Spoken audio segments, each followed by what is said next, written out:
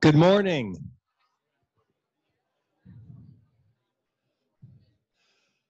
Welcome. It's good to see everybody out today. Uh, Kyle, as uh, Director of Campus Security, there's a table over here I'm concerned about. We've got Dale, we've got Jerry, we've got Mark. Michael, I don't know, you're going to be judged by the company you keep. Oh boy, they are in trouble. Well, welcome everybody.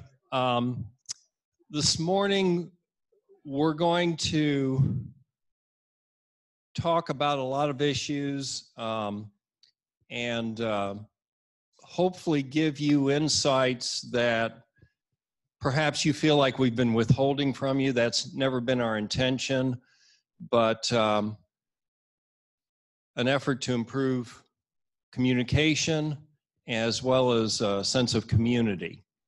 So I hope that you find this helpful and I welcome your critiques, suggestions afterwards, you know, about how we can um, improve in this area. So very briefly, I'll send you out more information, probably more than you want to know. Um, what's happened or what is happening since the Clark report came out? And one of the things we've done is, um, and really, I've just focused on mine. Um, Bryce, Kim, Linda have been doing uh, their activities parallel to what I've been doing. So there's really a lot more than what I'm showing here. Trying to get opportunities to meet with you, either one on one or in small groups. And believe me, that has been very valuable to me. You've given me insights that I just simply haven't had in the past. It's very uncomfortable for me. You know, when I came here in 2012, I thought I was going to do some good things. I thought I was going to implement this culture of inquiry where we could talk candidly about issues without putting each other on the defensive, without assigning blame. And apparently, I didn't do that. And for that, I apologize. I, I just wish I'd done better. So, these are attempts to do better. And one of the major ones is we've hired Linda Seppa Salisbury, consultant out of Spokane Community Colleges, and she has tremendous experience, successes working with leadership teams. And so she started to work with our executive team. That's the president and the three vice presidents. And now some of you might be sitting there thinking, yeah, well, what about the rest of us? Why are you just working with those four? Go back to the report. The problem isn't with you, the problem is with leadership. We've lost trust. We've lost respect. So, in working with Linda, we've decided that what we need to do is try to get our house, our affairs in order before we start to work with everybody else. Now, those opportunities will come. We've already been talking about possibilities of bringing in opportunities for the whole campus, but um, you know, we've got to start at the source. And um, so that's why we're focusing on the four um, executive team members. In executive team, cabinet, shared governance council, we are continuing to work and address the themes. Um, we continue to solicit ideas suggestions, insights. The board has made this a regular agenda item. They are monitoring this closely and they've made it abundantly clear to the president that this is important and we need to make improvement. Now, some people may think, oh, yeah, you're doing this because of the report. You got to do it because the trustees. There is that element. But ultimately, we're doing it because it's the right thing to do.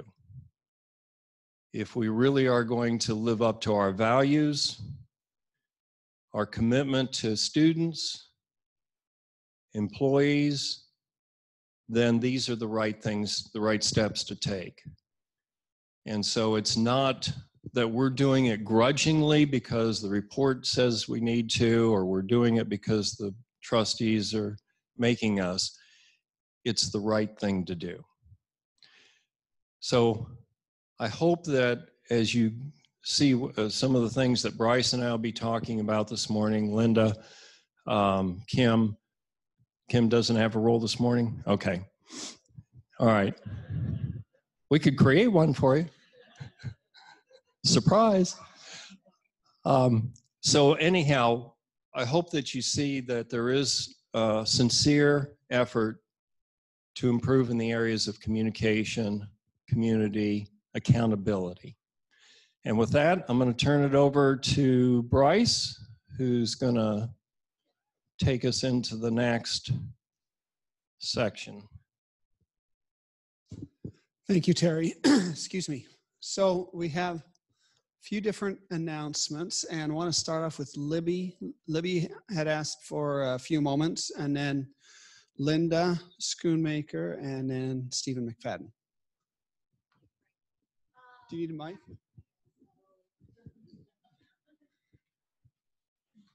Okay, so you guys probably know I'm going to talk about a book. so, One Book, One College author Erika Sanchez is coming this Wednesday. And the only reason we're really lucky to have her is because she was going to be at Central. So, we just kind of grabbed her and said, Can you come here? So, please um, try to make an effort to come. The big um, meeting with her is at three o'clock on Wednesday. And I know that's not an ideal time, but nothing really is ideal, right? So um, we're really excited. Um, she's the author of a young adult novel called I Am Not Your Perfect Mexican Daughter.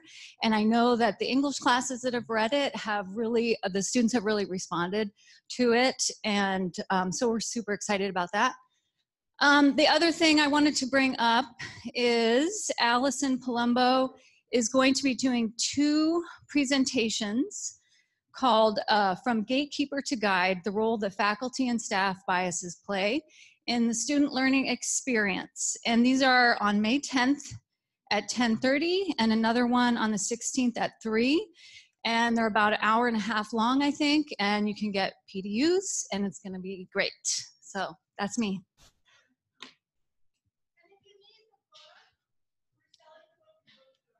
Yes, and the author will be signing the book after the three o'clock presentation, if you have one. CTC Link. Okay, I'm going to take 10 seconds here. so, CTC Link is a business transformation project, and it mostly affects the administrative services, but it's also going to affect everyone on campus, including our students, because they'll do a lot more in self serve, and so will all of the college employees. But the super users, the people in financial aid and student services and counseling and the business office and IT, they're going to be affected the most. Just wanted to cover that. So there are six deployment groups. We are in deployment group five. We are currently in the initiation phase. We've completed 12% of that, yay. Um, we will be in that phase until October of 19 and then we go into peer review. And so other colleges will take a look at how, how far we've come and whether we are ready to go. By November, they'll decide yay or nay, we're ready. Um, and they'll give us official entry into that deployment group. And then we start the implementation phase in January of 2020. And then in December of 2020, it will be a go, no go decision. And then we would go live in February of 2021. So we have a CTC uh, Link Big Bend project team who are just getting things marked on their calendar. We haven't met yet, but we're getting ready to do that in the next week or two. And that is Star Bernhardt, Valerie Parton, Rita Ramirez, Angela Garza, Kim Garza, Matt Killebrew, Elliot Davidson, Jeremy Kelly, and Charlene Rios. And, and then everybody else will be SMEs and they'll come into the project as we have activities going on. There's going to be a ton of work and people are going to be stressed because they've got a lot of crap that needs to get done. And uh, just wanted to kind of give you a heads up to cut people a little bit of slack because they're going to be super busy. Thank you.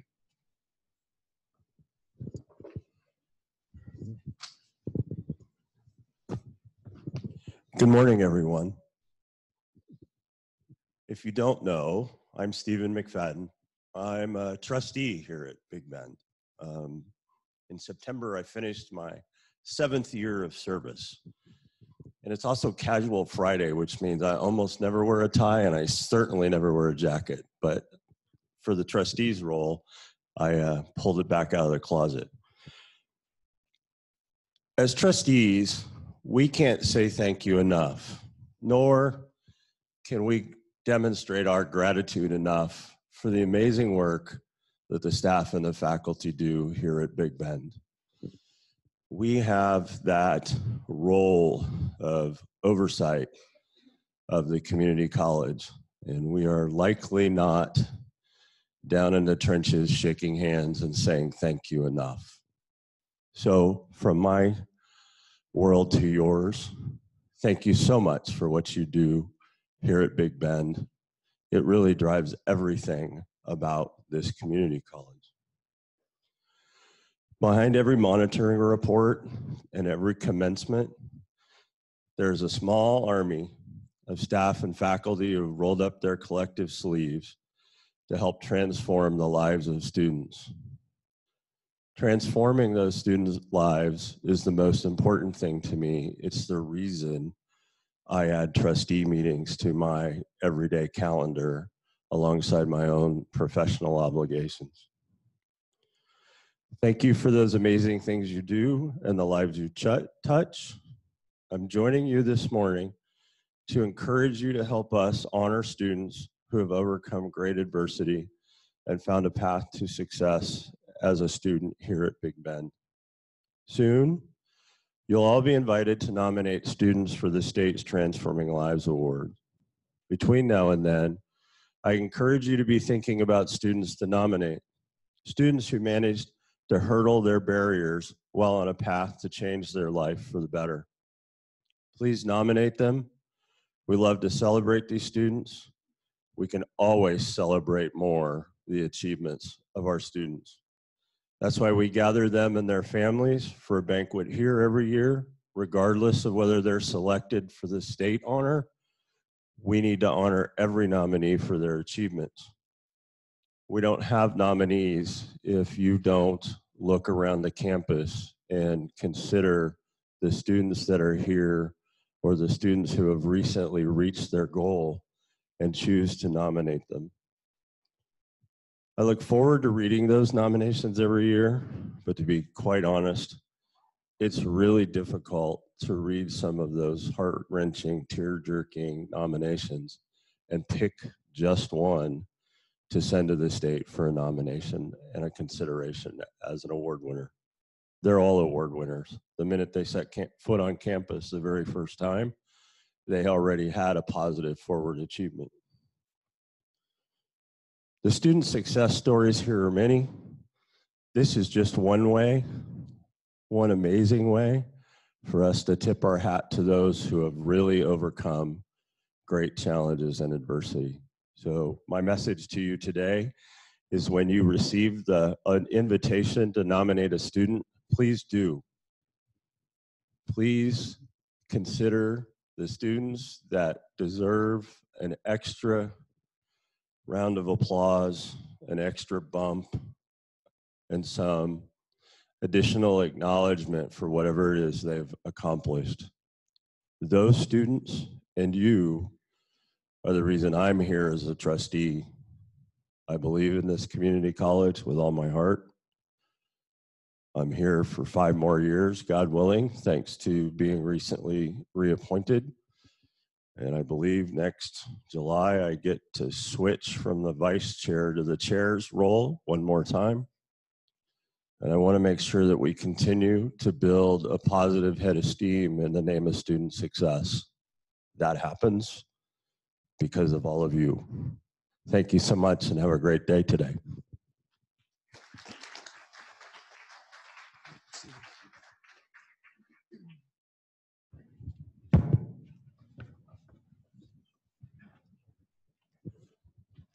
So I'd like to make a couple quick comments about uh, our accreditation visit that is coming up in fall of 2020. We, this is our comprehensive visit that uh, we all know, oh boy. We've known about for some time. There, hopefully I won't shriek at us. So the Northwest Commission, our regional accrediting body, has, is coming out with new standards that they're planning to adopt in Jan, this upcoming January of 2020. And when you look at the new standards versus the old standards, the, the standards we're currently under, they, uh, there's a couple significant differences. So I just want to give you a quick overview on that. The, the new standards are not as prescriptive as our current standards, um, but they're still based on the idea of continuous improvement, uh, self-evaluation, assessment, and so forth. And at a recent training that I attended with uh, Valerie Parton, uh, that the commission put on helping colleges prepare for their comprehensive visit, they have taken their approach to accredit to accreditation visits and kind of put into two categories. One is there's a compliance piece, and this is where they're monitoring on behalf of the Department of Ed, the federal government, all the policies, procedures we need to have in place to be compliant with the federal laws that govern um, our receipt of uh, financial aid funds, uh, Clery, and several other federal laws that, that govern us. And so they've got these lengthy checklists of, of things that we need to have in place. And they want to, and so as part of our report, our reporting will report on all of these things. And they want to see that we have all these policies, procedures in place. We'll send that to them months before the visit. The visit will probably be in October. It'll be fall of 2020. So sometime next summer, we'll be sending our report and it'll have and we'll have this list of things that we need to, to tell them that we have in place. Most of that work is administrative. Um, again, when you're talking about policies, procedures, about some things from financial aid, some things from safety, some things from the business office, from academics, but it's all pretty administrative. Then the focus, and so they want to get as much of that done before the visit as possible. If they go through the list, say, yes, you've got this, this, that, and the other, then we're good. And so then when they come to for to visit for the two days, what they're really focusing on is institutional improvement, continuous improvement, assessment, evaluation. So all the things that we were really focusing on last year that you guys did such an incredible, incredibly great job doing in in assessment and evaluation, that's what they want us to, that's what they're going to focus their visit on. And so in preparation for that, we're really in a pretty good spot considering it wasn't always fun, but we did a lot of work over the past few years to put in place um, assessment, evaluation, continuous improvement model within instruction, within the departments outside of instruction, across the institution overall. So as long as we're working our plan, our processes that we've put in place, then we'll be in a very good spot for our accreditation visit. So want to recognize all of you for the good work that you've done thus far and say that in this upcoming year, as we can, if we just continue to work our processes, and you'll be doing the work that you need to do in your part of the world to help prepare us for our 2020 accreditation visit. So again, thank you for the great work you've done so far. So at this point in the agenda, we're going to talk about advising, and I'd like to invite those that are helping to present to come on up. Um, As you all know, we've been doing an awful lot in the area of advising for several years, for, uh, that started well before I showed up. And we've been able to leverage our Title V grants to help move this work forward and have some positive impacts across the institution. So we have a variety of folks, uh, counseling advising, some of the deans who are going to talk to us a little bit about where we're at and some of the things that are coming up and coming with that. In your agenda, it lists several different um, present mini presentations, and we've changed the order of that slightly. There's a, a graphic on your tables.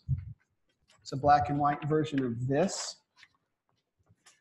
And you'll see one, two, three, four, five. So the, the presentations are going to follow this order rather than the order that's on your agenda. So with that, I'll turn the time over to the group. Okay, good morning. Uh, it's good to see everybody in one room. We get so busy with our day-to-day work that we don't get uh, a chance to visit, so this is good.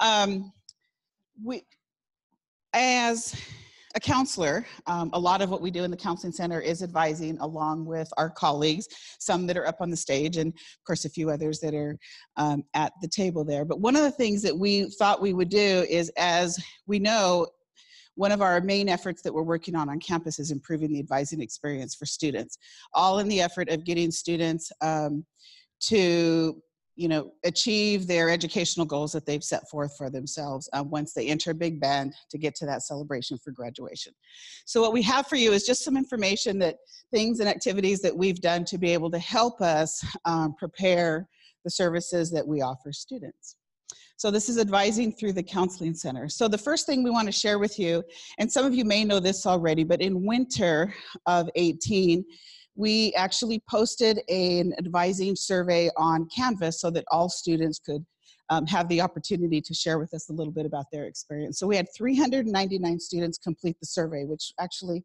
for us was pretty exciting.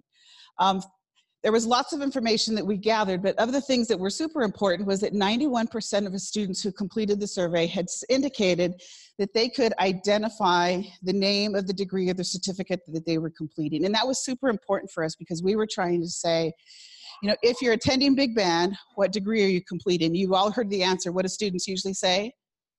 the AA or associate degree. So we wanted a little bit more definition about what's the degree they're really trying to complete specifically. Um, and when we think about areas of interest and we think about guided pathways and we think about the certificate program that they're completing, that question becomes really important. Um, the next one was 88 um, percent of students indicated that they understood the requirements needed for their degree um, or their certificate. So again, it's taking courses that they need to complete and satisfy the requirements so they're not taking courses that aren't necessary.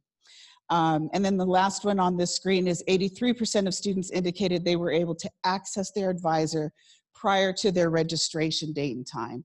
And again, that was high on our list simply because we have had mandatory advising for a few years now.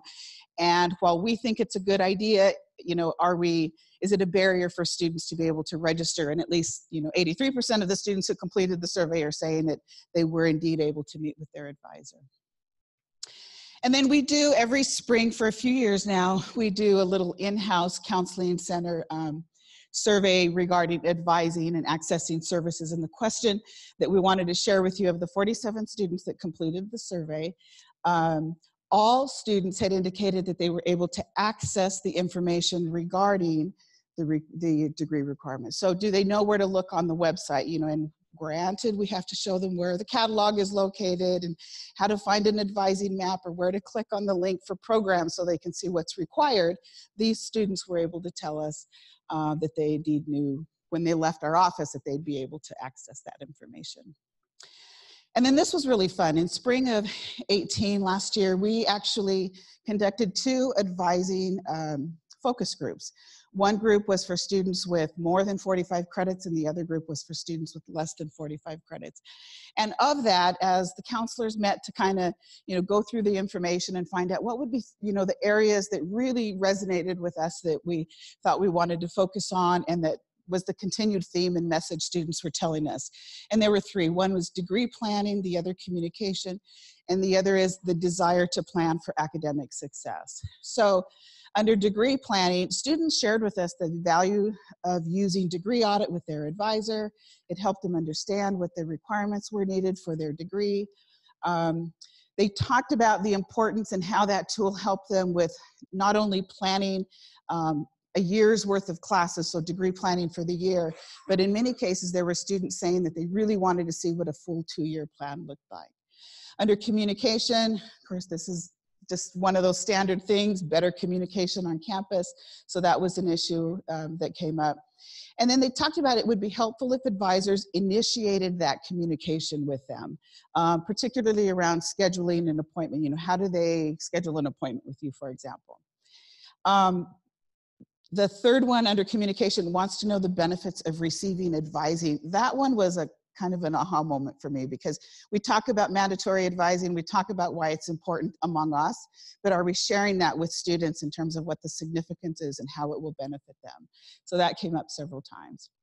Uh, frustration when emailing advisor, especially if they didn't get a reply back uh, frustration with not knowing how and where to locate their advisor. So things like office hours and location, that information um, was something they were addressing. And then, of course, there was the issue of if an advisor had office hours, but it wasn't convenient for the student, um, how they would, you know, navigate that.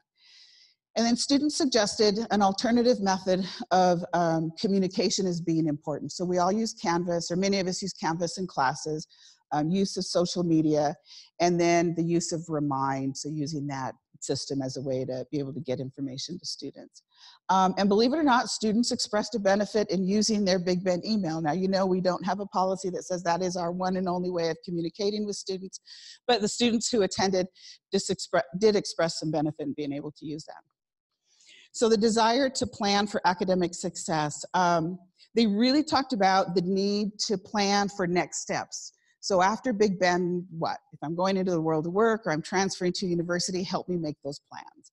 Um, understanding the importance of advising and building a rapport with their advisor was important.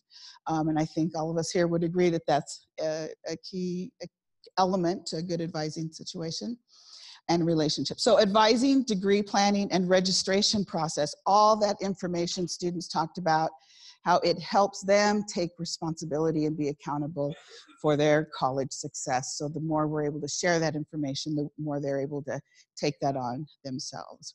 And then under other, I do have um, a couple of notes. One is students didn't express frustration in the requirement for having mandatory advising to meet with their assigned advisor, um, but they again did talk about just help us understand why that's important. Um, why advising is important. And then the last one on here, I think as we think about other ways of being able to reach out to our students, I think is another one that's really very important, and that is students express the importance of advising taking place in an environment where they felt comfortable, they felt welcomed and understood. And then lastly, that the advisor understood what their commitments were outside of um, their experience here at Big Bend. Great. So we're gonna move on to the next slide, which is gonna, um, fall of 2018, the Big Bend Counseling Center um, conducted a student satisfaction survey describing their advising experience. So I just wanna highlight a few numbers here. Um, we know that a little over 50% of students strongly agreed to the following statement. When I enrolled at Big Bend, I developed a plan to complete my degree and or certificate. 52% um, of students um, indicate or strongly agreed to um, knowing the requirements, um, that they are clear and understandable. A little over 52% of students uh, strongly agree that their academic advisor is knowledgeable about the transfer requirements of other schools. And um, next question that we asked was, um, or students indicated that strongly agreed to, 60% of students strongly agreed that their academic advisor is knowledgeable about the program requirements. And we know that um, nearly 52% of students strongly agreed to the statement of their um, my academic advisor is concerned about my success as an individual. And nearly 53% of students strongly agreed that their academic advisor is available to them, whether that's face to face, telephone, or in person at a time that's convenient for them.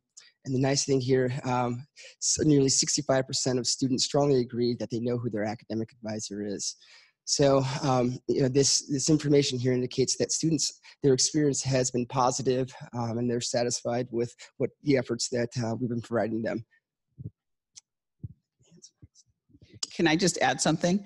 You get two, you get a bonus point if you notice that satisfaction is spelled wrong up at the top there. But we should say where this came from. Um, this was not counseling center survey. So we do have a fall 2018 student satisfaction survey that goes out to all students. And Edgar, I think it was like 491 students um, had um, completed the survey. So it's a lot of students with a lot of information. And I don't know, but I think when you put the blue and the darker teal green together, when you compare the responses for agree or strongly agree, which is what you see, I think I was quite pleased.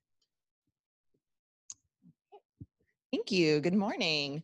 Um, my name is Ann Ganazzi, and I'm the STEM advising specialist and I work with the Transforming STEM Pathways Grant, and I'm in the counseling and advising office.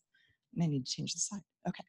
Uh, a project that I worked on this year was just getting a snapshot of how we're providing advising to STEM students to help prepare them to transfer from Big Bend into a STEM uh, bachelor's degree.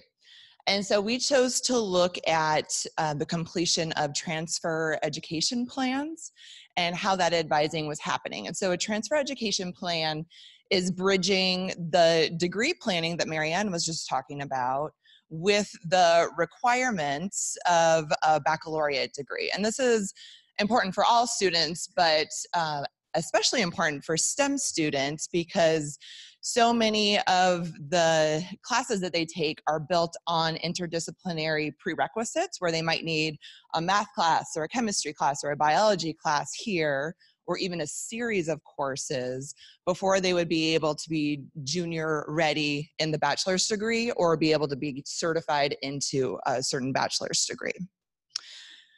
So we developed um, a project that advisors helped with across campus. The query of students included any student who had identified as a STEM or healthcare um, area of interest in the summer new student registrations.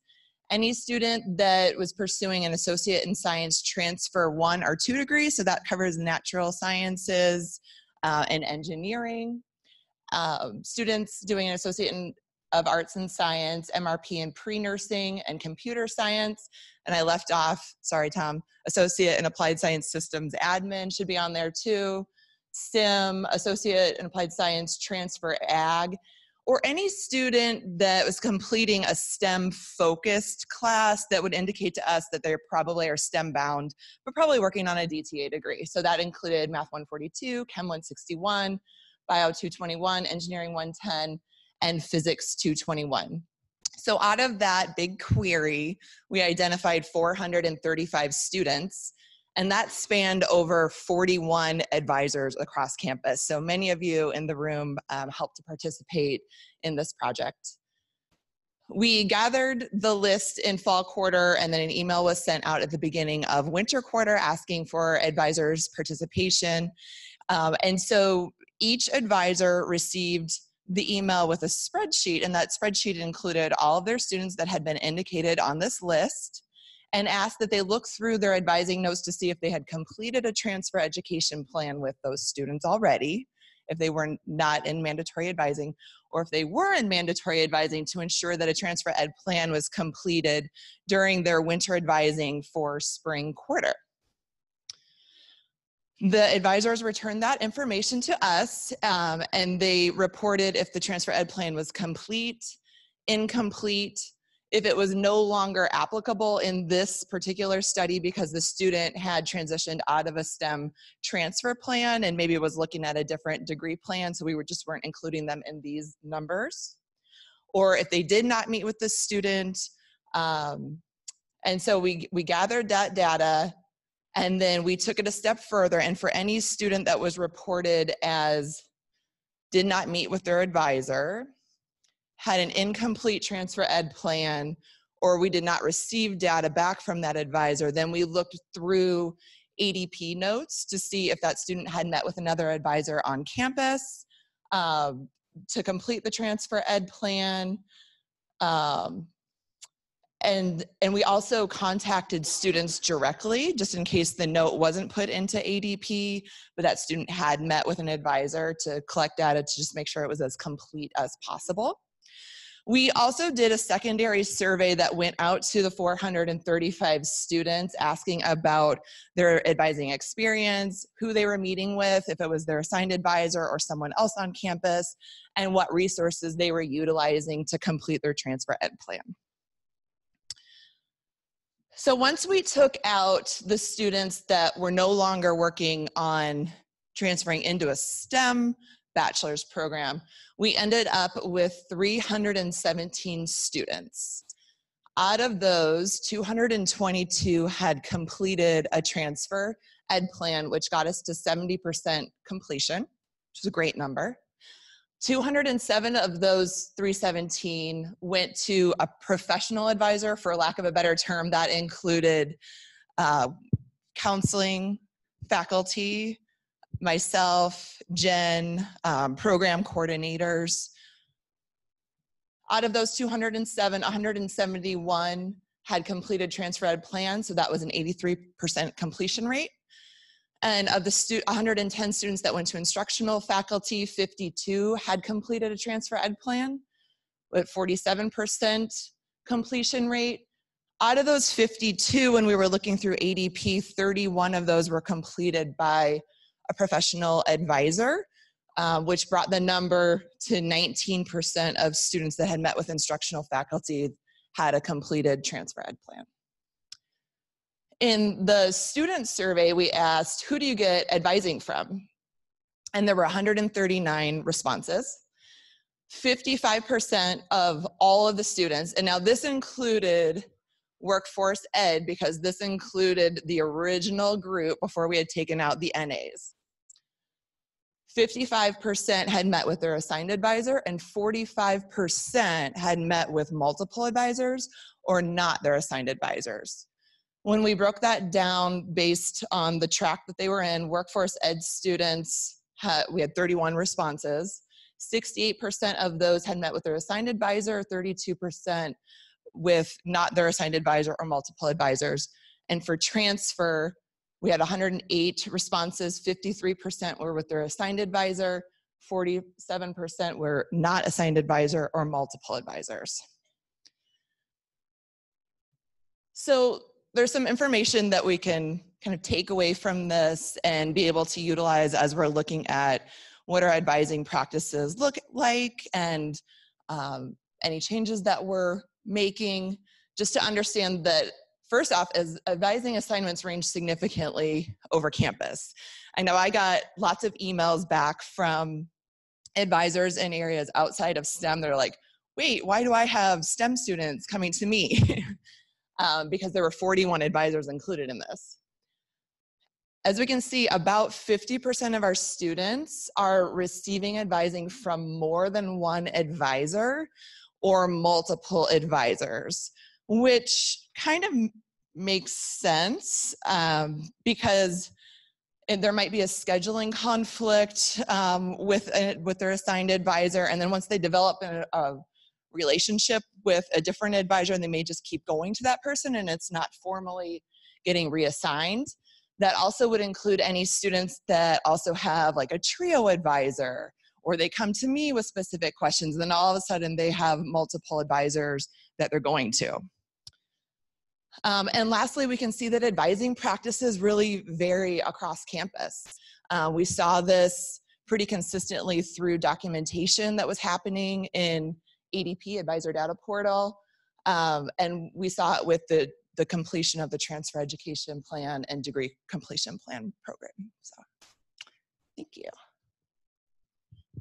I didn't introduce myself. My name's Jaime Gaddis. I'm one of the counselors as well, so I apologize. So I'd like to talk about um, some of the practices uh, that are guiding or some of the strategies and, and uh, tools that we're using to help students and guiding our practice with advising here. So currently we have 147 Running Start students who have opted to receive Remind uh, text alerts. So that's information regarding advising, when should they be advising, it's time to meet with their um, with their assigned advisor, verification forms need to be submitted, etc.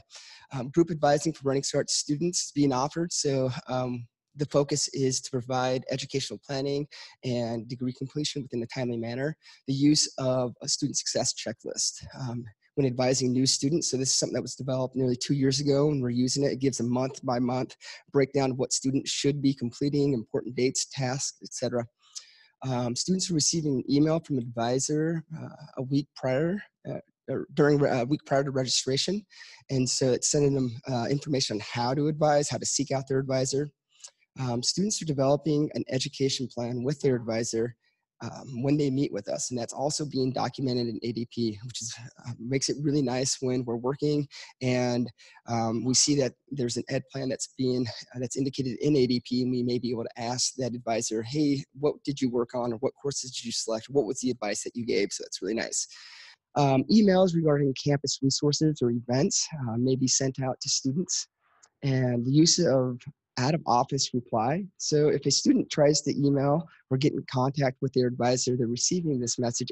And, the, the message also um, will have when they can meet with their advisor, when they plan on being back, and how to contact their advisor. So it's just a really good practice that um, some of us have incorporated. And the biggest thing here is consistency and not releasing pins to students without an advising session.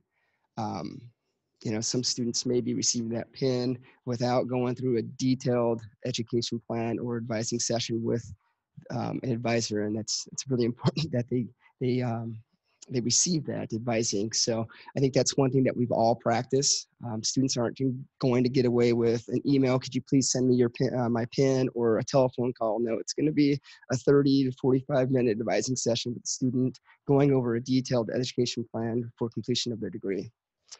So next, I'd like to pass this off to some of the deans.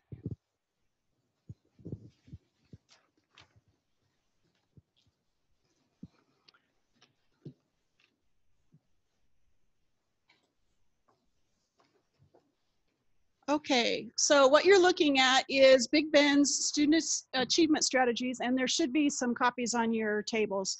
And um, moving from the advising tips and um, data that we've just heard about, now we're moving into some of the strategies that Big Bend um, has been working on, is working on, and some areas that we still need to work on. So uh, that's kind of, and uh, like Bryce said earlier, that's the kind of the flow for the rest of the rest of the hour. So one of the things um, that we all know is that um, student success starts at the that first contact and ends when they leave Big Bend. So that's really what we're looking at um, today. And a lot of what you're going to hear about is support for that process, but also support for faculty and staff as we are supporting our students. So I'm going to hand it off to Kathleen. Our focus with uh, looking at our advising model has been to broaden our just as Deneen has said, broaden our look uh, to how we touch our students all along the way. Um, but my discussion is about advising again. Um, it was um, referred a little bit by Anne that advising is um, the assignments of advising are very broad and sometimes you can be advising some a student from lots of different areas. Um, i looked at advisor assignments and how many um, as advisees each faculty and each advisor, uh, each staff advisor had on campus. And so I wanted, it was just data. Uh, I worked with um, Debbie Simpson to get this data, and I wanted to show you in a representation of advisor assignments. So I put it into a word cloud and eh, with the number of advisees a person had. So if a person had more advisees, their their advisor code would show up more uh, or larger in the representation. So this is what uh, so uh, this represents our advisor assignments and there's and I used advisor codes uh, um, and you might be able to find your your um, your advisor code there. Usually, it's your last first three letters of your last name and your first initial, with some exceptions. But uh, as can be expected, our counselors have the majority have a, a very large advising load. Our counselors and also Jen De Leon for workforce.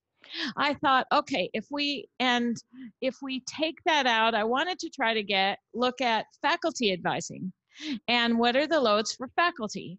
And so I took out so this was to be completely inclusive of all the advising, but then I thought, okay, I'm going to take out Jen De Leon and the three faculty counselors because their numbers are so large they dwarf everyone else. And so um, I did another representation, and this represents faculty, other advisors that have advised uh, through different programs like um, ECE, um, nursing, um, and you can still see we have uh, we have differences in how how many advisees we have. Uh, some of it is the nature of the workforce program that they're in. For example, you can see John Mark Swedberg. He advises everybody in aviation and so uh, so that puts him the biggest tier of the of the um, instructional faculty um, but and Jenny Neiswanger, she has a lot of advising within her program. So there are some disparities, uh, dif differences. Um, I'll show it one more way. And this is less readable, but this is the raw data. So I just alphabetized the advisors, and you can see the counselors are there way up. Uh, almost to 200 or above. And, but when you look across the board, even if we look at the one, the, the majority of those folks that are uh, 30 to 40 and below, we see we don't have evenness in advisor assignments. And given the fact that we are, um, we have mandatory advising now for the first 30 credits, this represents a difference in workload for uh, our faculty and staff that are doing advising. So uh, one of the things we're doing is looking at how we assign advisees, looking at moving uh, to a different way of assigning advisees in some of the areas of interest. We're not really changing how we sign advisees for the workforce program. They're going to advise the people in their program programs like they always have. We're more looking on the transfer side of the house and how we can uh, figure out and make um, advising loads a bit more even. That's going to entail some things. Um, it's going to entail that some of you may be assigned to advise in an area that's not your primary area. Uh, Ryan Leonard has 74 advisees. And that is more than some full-time advisors have. Um, so we need some other faculty that would be trained, work with Ryan Leonard to be trained so that they could advise, especially those first three quarters when it's the mandatory advising to advise. And so we are moving forward with that. We and another area would be we need to look at how our running start students are being advised. Our counselors have um, are doing wonderful jobs meeting the needs of our running start students, but that is taking a huge huge load on them during those advising weeks. So we may be training some fa- some other faculty to um, learn about how to advise running start students. And uh, the plan is as we start assigning new advisee as you're assigned advisees, if you're assigned an advisee, uh, advisees specifically in a certain area that you wouldn't know things about, we would by next fall when we come back, we'll let you know about those assignments, and then eh, there'll be opportunities for you to receive training so that you can be fully prepared come the time to advise for winter that you can shadow the counselors or shadow Ryan Leonard or have some training sessions so that you can be trained to advise in places in topics and areas that you're not yet trained. So that's the work we're trying to do, looking at um, looking at advisee, advisor assignments. Okay. Um, Tammy's next.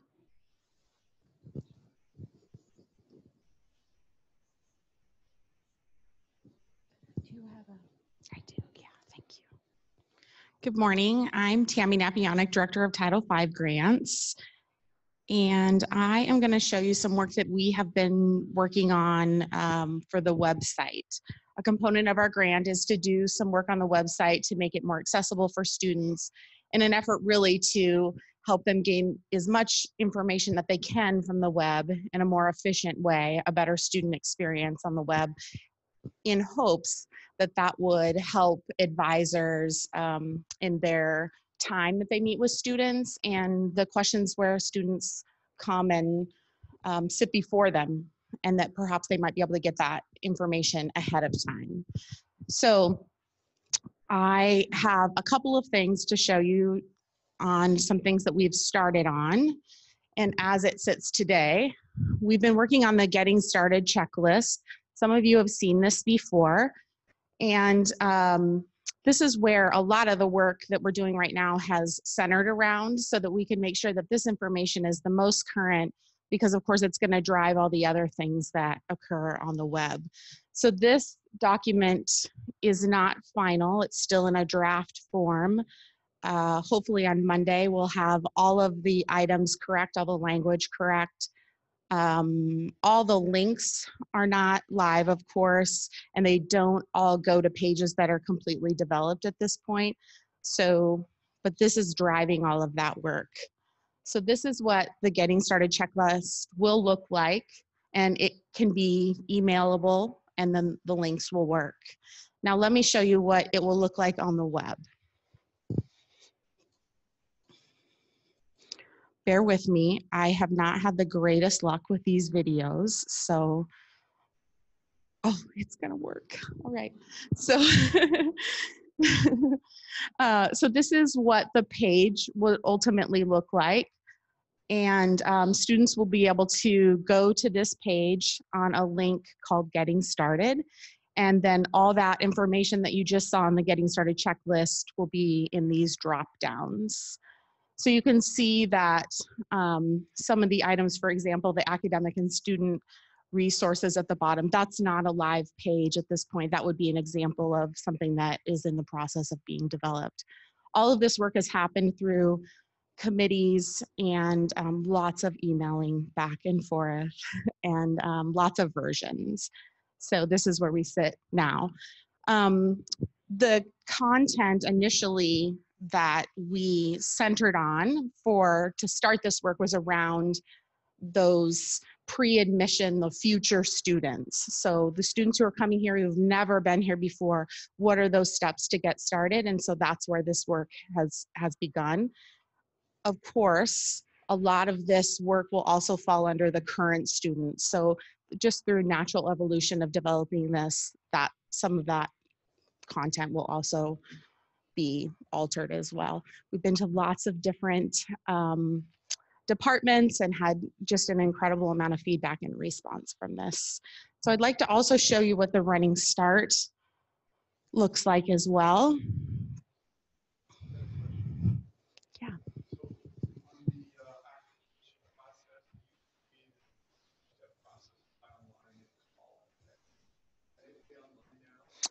Um,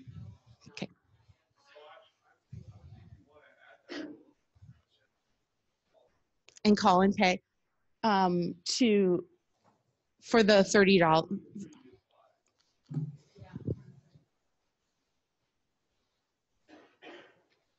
This is the one you're speaking about, yeah?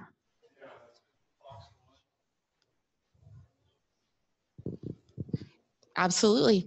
If this isn't a final document, um, I'll have all of the feedback in this document, hopefully by the end of today, but probably Monday.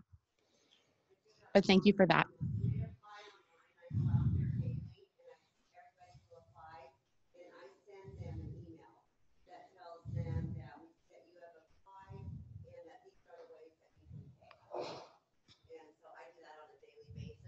Good to know. Thank you. And you've reviewed this several times, right? Yeah. Okay. So back to the running start. This is what it looks like. And then I'll show you the page that it would look like to simulate it on the website. So very similar to the page that you saw before, the drop downs.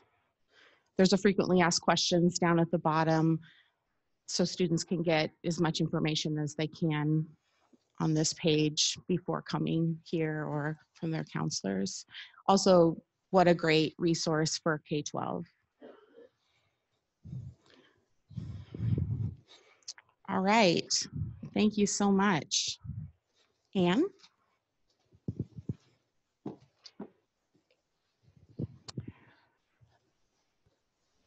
Okay. So um, I'm not sure where that sheet went up here. That? The sheet that you have um, on your tables that's outlining this. Okay, so under initial contact, um, one of the sections is the getting started information sessions. And so this was born from a fairly large committee now of faculty advisors and administrators that have been meeting since November um, to talk about what students need to know and when. It's a first year student experience group. And so out of that was born the new student information guide that, or what students need to know and when. It's had two different names that many of you have now updated and provided feedback to through shared government governance and different work group. So we have a pretty dynamic community um, created document that we're going to be able to use in a lot of different ways as we're making some um, updates and providing training for advising. So out of that document, um, the committee looked at what what are some low hanging fruits that we need to address right away to be able to improve our advising practice? And that and one that came from that is the way that we are providing information and advising to pre-admitted students. So these are potential students and their families that are just coming to big bend to check it out to see if this is the right college for them. They haven't gone through the admissions process.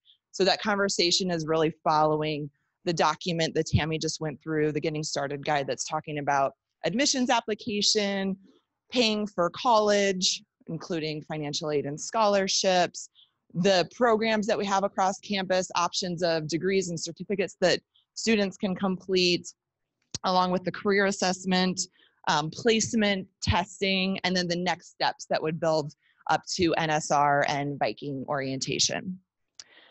So what was currently happening um, is that students are meeting one or potential students are meeting one-on-one with advisors and a lot of that load comes over the summer when there's fewer advisors that are available on campus. So anyone that's looking at big bend is making a half an hour to 45 minute appointment with those advisors.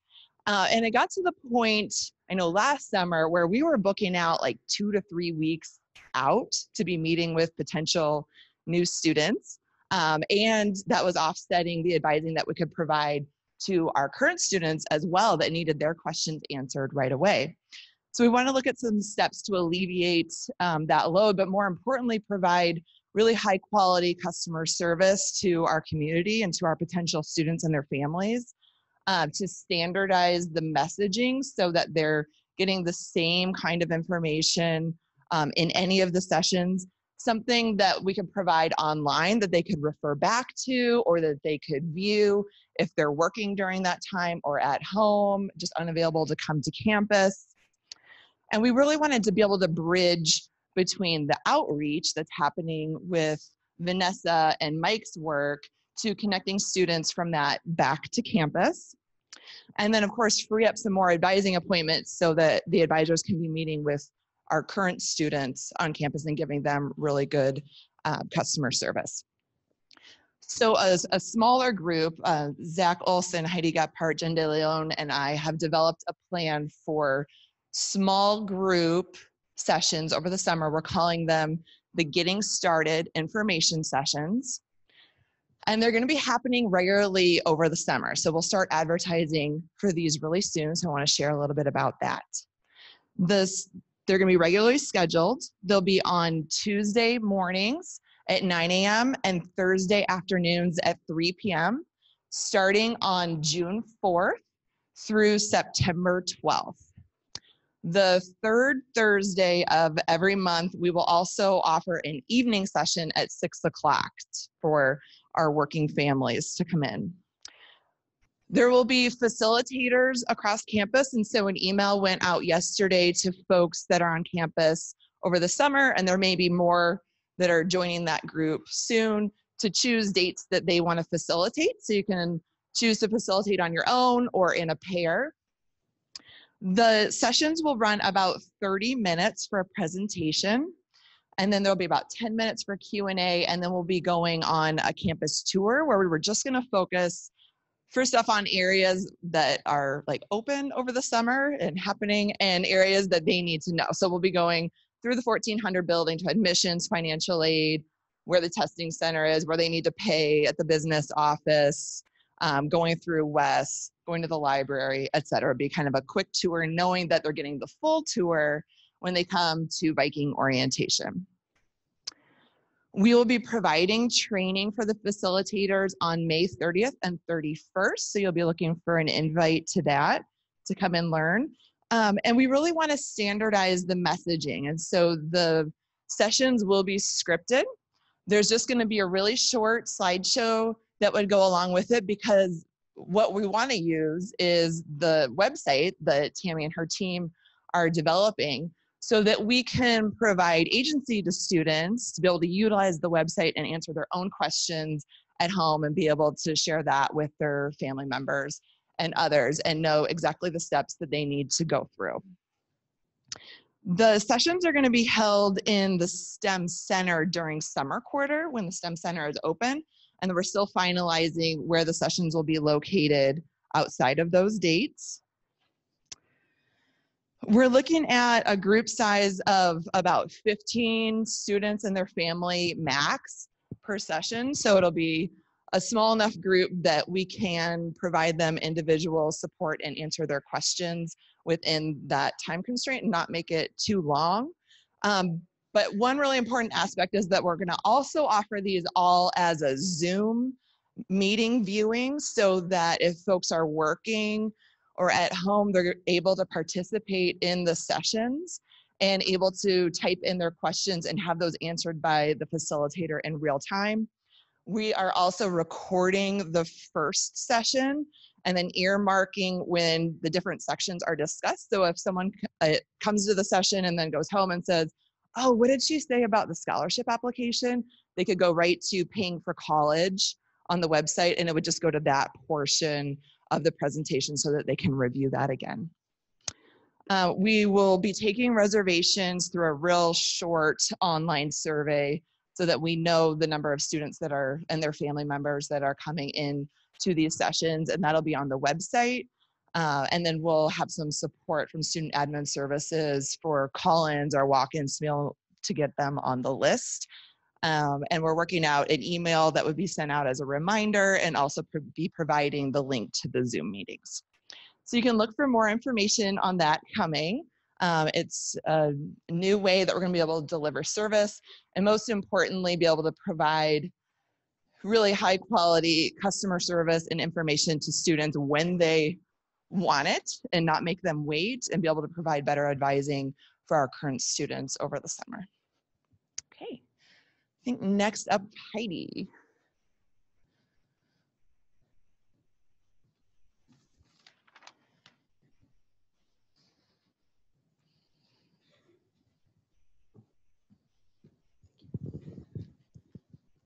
All right, good morning. So I was just asked to talk about changes to uh, registration orientation. So the good news is there's not going to be any radical changes to register to new student registration or orientation this year because we're working really hard on getting the pre-admission um, information up and running and getting that going. Um, so NSR is not really going to change. Um, the one thing that I would encourage you all to um, do, though, is participate in NSR as faculty. So when we get the numbers of students that are coming in NSR, we're purposely looking at what their intention is, what they've indicated on their application, so that we can let your departments know, like, hey, we've got five people in business, or we've got six people in welding, or something like that. So that um, if there's an advisor that's available for those departments that they could come and maybe speak with those students um, in a smaller group session. So we really want you all to eh, to encourage you to look at those emails, and if you're able to participate, um, please do because it's really helpful when we have faculty here to talk to students. That really helps them get up on the right foot. Um, with that said, there are probably going to be some changes to NSR and orientation. There's a lot of stuff in the works right now, so I'm kind of excited about that. And believe it or not, I'm really excited about CTC Link, which sounds kind of crazy, but I'm really excited about that. Um, so that brings me to the other um, thing that we've kind of been working on. So if it, you may or may not be familiar with the process of having students sign up for their student network account, So getting their Big Bend email set up um, and being able to log on to Canvas.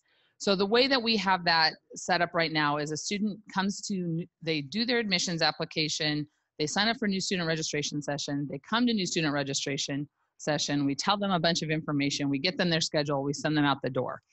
We give them a little card that says in 48 hours, you can set up your student network ID. And then they're supposed to go into the system and do that themselves.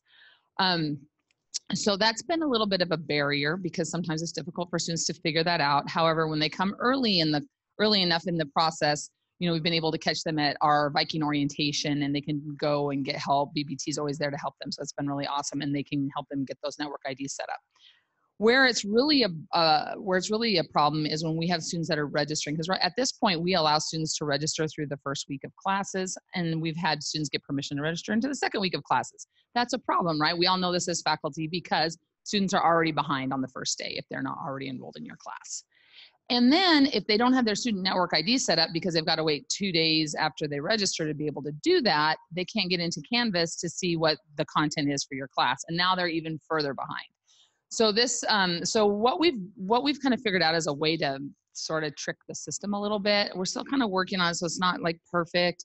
But what we found is that we might be able to assign students as they um, complete their mission process with a kind of like a dummy class so it's not a dummy class but like we can we can register them in a class that's non-credit bearing so they're not going to be charged for it but the, it triggers the process that allows them to set up their student network id so that's one of the things that we've been working on. It looks like this is going to work and we may be able to actually implement that at nsr over the summer. We may be able to actually have students sign up for their get their student network id when they come to nsr so that's one thing we're looking at but we haven't actually got all the details um, hammered out on that one. The other um, thing that we're looking at with that is possibly trying to pilot an online new student orientation, uh, new student registration session for um, right now looking at like our out of state students. So a lot, in, in the summer, we get we register a lot of athletes over the phone because they're out of state and they're not going to come all the way to Moses Lake to register for classes. So we're doing a lot of sessions over the phone. Those sessions take a long time, can take anywhere from an hour to an hour and a half. And you're just talking to students over the phone about Big Bend. It's not really probably the best way for people to learn about the college because they're going to forget probably 90% of what you told them over the phone. Um, so we're gonna tr- we're trying to put together an online um, orientation that we could assign those as students to. If and if we're able to set up their student network IDs once they complete admissions, we're able to assign them to a Canvas class. So then we can track to make sure that they've completed it, and then they can talk to an advisor about classes. And I think that'll actually save us some time over the summer and I think it'll be a better service to students. And we're also considering um, looking at that for our out-of-state um, aviation students as well, because aviation is another program where we get a lot of students that are coming from out of state to the area. So that's something we're trying to get in place. I'm crossing my fingers that we can get it put together before the end of the quarter, but um, that's where we're what we're looking at with um, that process. So I just want to update you all on that. And next, I think Raphael, are you talking about? Who's next? I don't have the updated schedule. So I have the old agenda. Sorry. Uh, it's advising day. Advising day. Oh, thank you. Yeah. So between the two of us. Lindsay Gross, everyone. Thank you. Um, I was asked to talk a little bit about uh, an advising day that we're piloting this quarter. So, um, as part of all of the changes with the advising structure, we in math and science and then also the social sciences are going to get together next Friday, the 10th, from 11 to 2 over in the 1200 building. And we're inviting all of our individual advisees for our different faculty um, to come in, and there's three one hour sessions. So at 11, 12, and 1, Ann Ganazi and maybe Rafa um, are going to be over there helping us with some general announcements and general information. And then we're all going to be available for our advisees in computer labs to be able to sit down with them and just try to hammer out some of the advising that happens during weeks six through eight normally. So what we're trying to do is alleviate our own advising loads during that time when the students have a hard time finding us because we're in class all day or labs all day. So we're trying to just see what happens. We're a bunch of scientists after all, so we're just experimenting to see how it goes. And um, and we'll kind of report back, I think, on how it um, all plays out. It's probably not going to be huge in terms of numbers this first time through, but if it works out well, then maybe this could be something that we utilize um, even during a normal uh, week. Maybe we have a day designated, like on a Monday or a Tuesday, that we could all do advising and see what that looks like in the future. That's the idea, anyway. So that's um, what I was asked to talk about. Are there any questions on that? Yeah, Preston. That's the idea. Yeah, and we're going to emphasize, right, exactly. I mean, they may have to follow up still, but the idea is that especially for the under 30, they could get their PIN, they could be getting their classes figured out for both summer and fall for this time through. And then they wouldn't have to come back in that time when everything's kind of crazy. That's the hope anyway. Are there other questions? If you guys have any thoughts or um, are interested in being a part of it, then don't hesitate to reach out. Or if you have feelings on it, please don't hesitate to reach out. I would love to hear all about them. Um, and I'm just the celebrity guest star, so I don't know who's coming next. Oh, Rafa.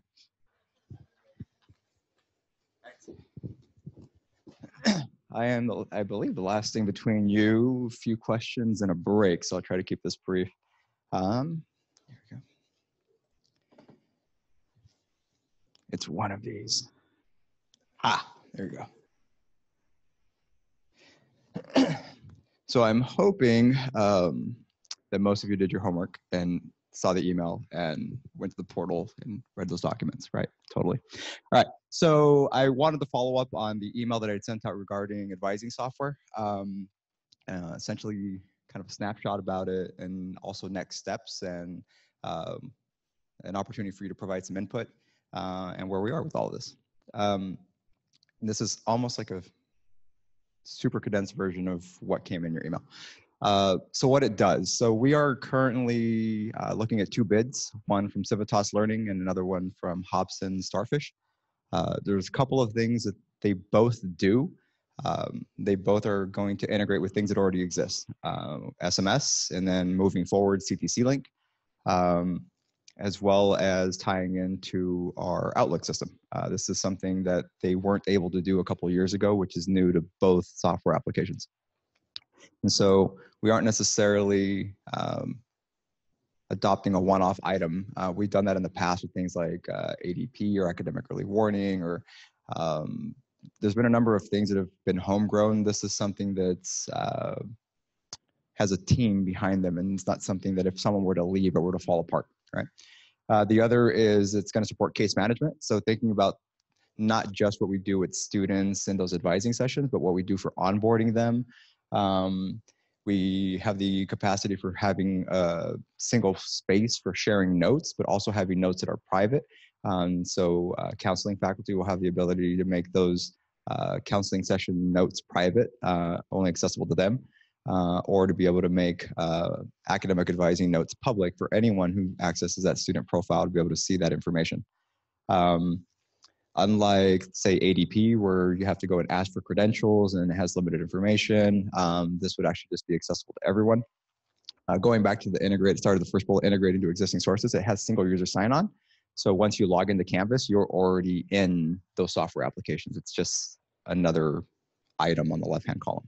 So you don't have to go somewhere else to use this. All of this is in the same place. Um, thinking about the work that we're doing around comprehensive student supports and like, well, who do I send the person or a student to if, or uh, what if they're in, in West or what if they're in TRIO? Well, we can tie more than one person to a single student so that when you're, when life happens to your student outside of things in the classroom and their academic planning, you can do that handoff electronically and there's a workflow that happens as part of that. Um, so if you are that person that likes to walk that student across campus or across the building to do that, fabulous.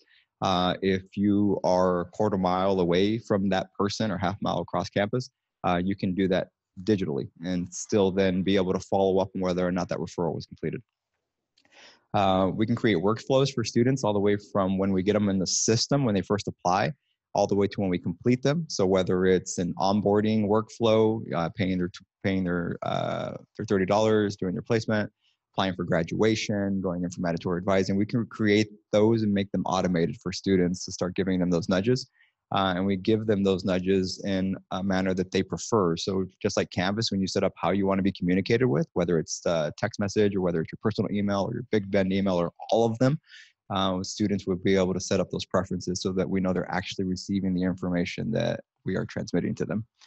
Uh, the other was uh, storage of that information. So things like um, currently we use ADP for notes, but then if you wanted to actually access a student's ed plan, uh, we would hope that it would be in a shared space.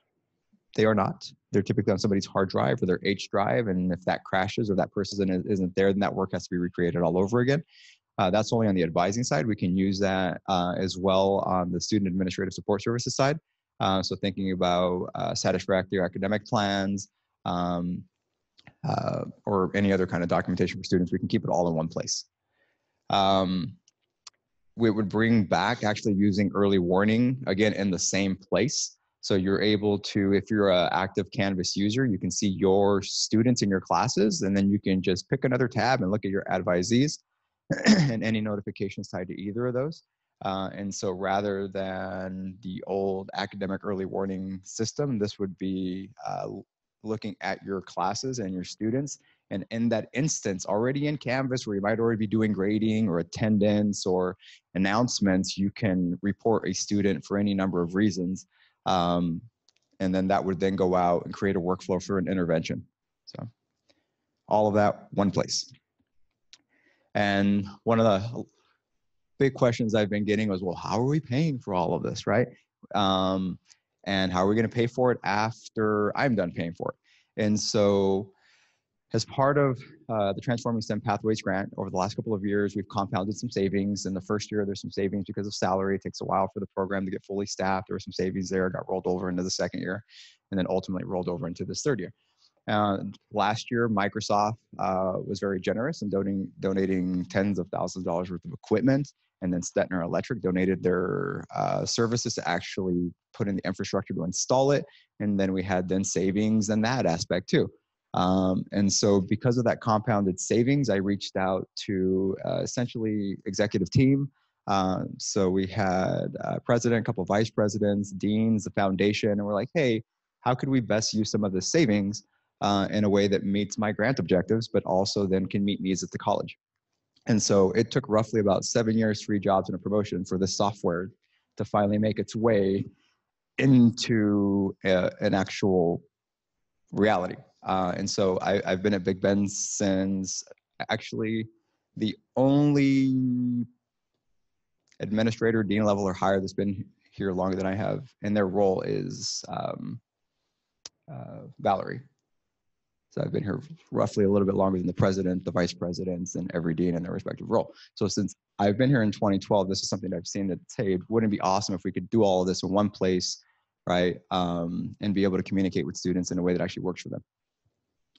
And so, and looking at salary and all of those savings, those compounded savings, I reached out to our program officer and it's like, hey, you know, I kind of want to probe a little feeler.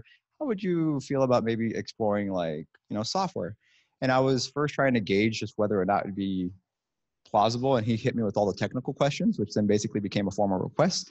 And he's like, yeah, run with it.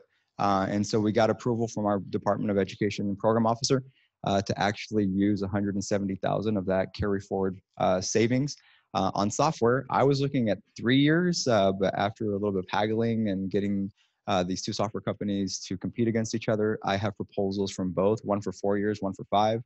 Um, and so uh, the grant itself only has about two and a half years left over. And so this would give the college some sustainability um, after the grant has ended. And looking at funding it after that runs out, there's two or a combination of those two. One is um, increased FTE because of what we're maintaining. Our pipeline isn't going to get that much bigger. Looking at 10 years worth of enrollment data, we've never really broken 2,000 FTE. It's somewhere between, you know, 1950 and 1990, but it's never broken 2,000. We're not going to overnight or over the next five years grow our FTE to like, you know, 2,500. Um, the bodies just aren't physically here, right? However, we can maintain more of those students and complete more of those students, and the software should give us the ability to do that because we're supporting students uh, and tracking them along the way. Now, that would then provide us an additional funding throughout the time those students are here, and that's one way to be able to fund it. The other is that worst case scenario is if we, even if we pass that cost on to the student, to the student technology fee, again, not taking from institutional funding that already that already goes to your departments, uh, but actually passing the cost on to students through the tech fee would be roughly about five bucks a quarter per student. And so those are a couple of ways that we're looking at for actually funding it four to five years from now. Okay. Um, a couple of other things that I was considering and looking at this was um, also the fact that we would get roughly about two years of it on SMS, and then we would get roughly about two years of it on CTC Link. And so we'd know whether or not it's worth its weight in retention and completion um, after the actual funding from the grant runs out. So a few next steps. Um, if you want to dive into the uh, into the nuts and bolts of it, the proposals are there from both Civitas and from Starfish. Um, uh, there was a demo a couple years ago from Starfish, and then a demo in the fall, winter, sometime this square uh, from both. Um, most folks that were in that, so there was uh, some folks from Student Administrative Support Services, uh, deans, some directors, some advisors. Um, the leaning is towards Starfish for a number of reasons. One, the end user experience seems a little bit more intuitive. Um, at the moment, uh, Starfish has 10 other community and technical colleges in the state. Um, and when I first seen them a couple of years ago, they only had like seven or eight, so they're growing. Civitas is losing schools. They've got one, I believe, left over. It's uh, Tacoma Community College, uh, but they're also on PeopleSoft, on CTC Link, and so it wouldn't be the same thing, and it's also not the same product. And so, as much as we like to be innovative, a new product kind of scares me uh, when there's already a proven standard that's working at roughly a third of our other community and technical colleges with raving reports. And so, um, innovation is great, but you don't always have to reinvent the wheel. Uh, and so there's something out there that works and works very well. Um, their responsiveness also and like this bidding process has been much quicker uh, and more comprehensive. So um, once we actually then, so we've got roughly 10 days. Um, I haven't, the bids themselves are good through the end of the month. I'm supposed to have something locked in uh, by the end of the month to be compliant with my carry forward spending plan. I'd like to actually lock in a vendor roughly in about the next 10 days so we can get moving forward uh, and so that we can start integration planning. So that would be working with BBT. In fact, uh, we've already had some meetings and they've had some meetings with uh, one of the vendors to see about the nuts and bolts of integrating it into our into our system. Uh, identifying a rollout schedule. There's a lot of bells and whistles with this. It's not a full steam ahead, everything launches in the fall. It's, hey, what are those low hanging fruit that we could use? Maybe it's, hey, we want to start with um, uh, tying it to Outlook so that you can schedule your advising appointments with your students um, through their uh, through the app itself, so they can schedule a time that works with you based on the office hours that you put out there for them. Uh, we could do something like uh, the academic early warning and let that go. Uh, and then maybe something in the student services side that allows them to you know streamline the onboarding a little bit before we start going full throttle with everything that they have uh, they have predictive analytics we could look at you know what those measures are further down the road and how we tie those into ed planning um, once we decide what it is we're going to roll out we're going to need folks to provide their input and support for actually developing those campaigns and those processes and those timelines for students uh, and so that'll be work that's mostly going to happen over the summer. And so uh, if you're going to be here, uh, awesome. If you'd like to be here, please join us. Uh, and then uh, with those things that we are deciding to launch out on an ongoing schedule is being able to then develop the training in a timely manner so that as it gets rolled out, you're not like, well, what do I do with that? And you're actually capable and competent in how to use it. Um, and so uh, the goal is to have at least some of those key features launched out by fall. So how you can help. Uh, so going back to if you're thinking like on the student services side, what those workflows may be like, uh, what warnings and notifications could look like, um, what the inputs could be. So whatever academic early warning was that you loved about it, we can redo that. Whatever you hated about it, we can not do that. Uh, and so whatever it is that we want to report students for, um, and what we want those inputs to be. So if we're deciding, hey, we want some of them to be automated and we want some of them to be manual, uh, some of it can be based on attendance, some of, some of it can be based on grades, uh, some of it can be based on a single assignment. And so that can be very individualized based on your own class, um, or we can do it as a whole. One of the things you can do, if, even if you don't want to participate in all that other rollout stuff, is just use Canvas uh, and use it regularly. Uh, it doesn't have to be for everything. Uh, I know for some of your classes, Canvas just may not work for doing uh, maybe the way you deliver your class, but it may be a way for you to at least take attendance. So if we know a student isn't showing up and they may not catch your eye, but you're taking attendance, well, the system will catch it for you and then we can reach out to that student. Um, so again, depending on your comfort level with Canvas, right, we can start with something as basic as just attendance and then maybe weeks two, four, and seven, uh, you could have grades be current and then that could be something that triggers those automatic uh, notifications for students as well. Uh, the other is share this uh, with your students. Again, we'll be working on messaging to be able to get this out to students and to you as well, and just you know sharing that with your students uh, that this is going to be the new uh, mode by which we communicate with them, uh, or just another mode by which we will communicate with them. you could start to use that scheduling tool, maybe make your life a little bit easier um, you have the ability with the software to give kudos to your students. So it's not just, hey, you're being, you know, here's a warning, here's a notification, here's a concern. It's like, hey, I noticed you pulled a 2.5 on this uh, X test or assignment. You know, congrats. That's really important, right? You can do that as part of this software as well. Um, if you have things that you're doing routinely that you wish you could just automate, right? Um, there might be an opportunity for you to create your own workflow um, or success plan for your students as part of this. So it doesn't have to be for all students, it could be for your advisees. Um, and the other, as I had mentioned before, it doesn't have to be all of it. Uh, so I'm kind of an 80s kid, so enjoy the Kool-Aid. Uh, but in the sense, it's, it's a cool aid. It's a cool tool that you can use to hopefully make your life easier. My goal in looking at the software wasn't to like give you more work. It was of those things you have to do all the time. How could we make your life a little easier? I'm waiting for the guy to just blast through the back right now. Like, it's not gonna happen, right? And so you don't have to feel like you're drowning in the use of the software. Um, but if you could use it in any capacity or find some use for it, then just move forward with those little tidbits that could make your life easier. Um, if it's just a scheduling, hey, awesome, makes your life easier in scheduling. If it's the academic early warning, fabulous. Let us give, give us an opportunity to intervene and support those students. Okay. All right, so moving forward, um, with the software at least, uh, if you have questions about that now, you're welcome. If you need time to process um, and come up with something uh, a little more in depth, you can reach out to me later. You can pop into my office. We can do lunch. You can send me an email uh, whatever works for you. Um, but hopefully soon, so that I can account for that information as I move forward um, with the folks um, uh, that are going to be imp- that well with everyone uh, in making the decision with who we're going to go with. As I said, we're kind of leaning towards Starfish. But if there's uh,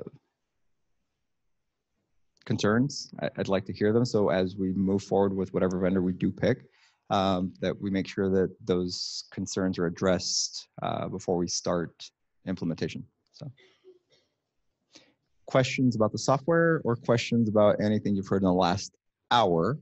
Um,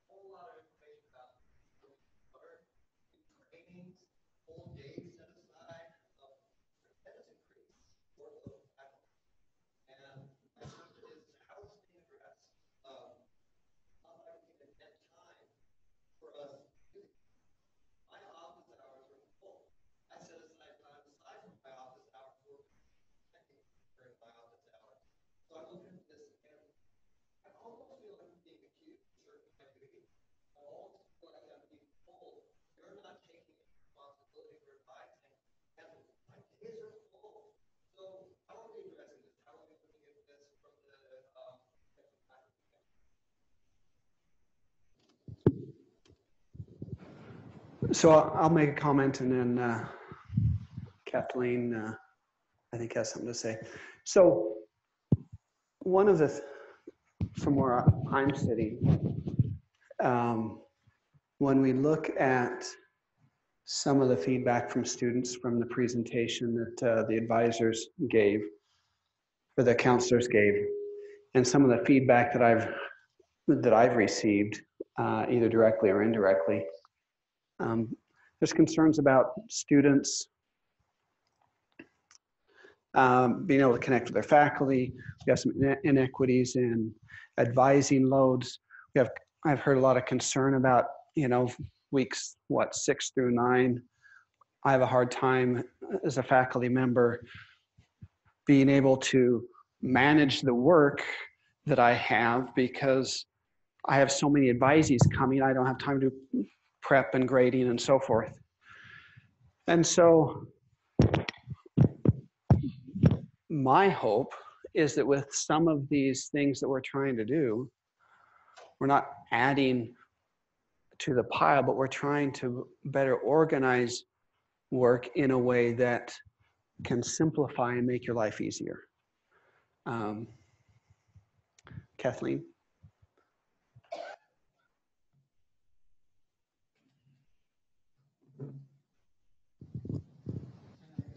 I would just add that, you know, referencing the, the negotiated agreement, advising is part of the faculty duties. And so how can we better do this in a way that makes your work easier? Uh, I think Bryce has somewhat said my viewpoint as well.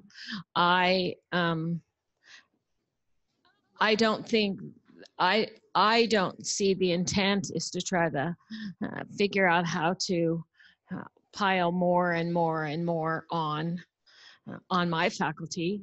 I don't see that at all. I'm I'm trying to um, figure out ways with other work groups and other things to try to even out the the challenges that associate with meeting the needs of our students and our students have changed over time. And we need to meet the needs of the students where they are. We need to mm, we need to be student ready. And sometimes that means that the way we do our work uh, as faculty changes over time. And so the intent is the intent is not to add more uh, to your plate, but it is recognizing that our students need need more from us. And so how can we effectively apply that? So uh, rafa's presentation about starfish or civitas is definitely a tool to try to help us um, meet the needs of our students in more purposeful ways um, the idea of an advising day that some faculty have done. That that idea came originally from faculty that heard about it at other colleges. That how am i going to get my advising done and other places are doing this? I don't think that's an that's not something that i am open to all solutions for how uh, how faculty can meet their needs of students and how we can help faculty not feel overloaded with the responsibilities they have. Steve.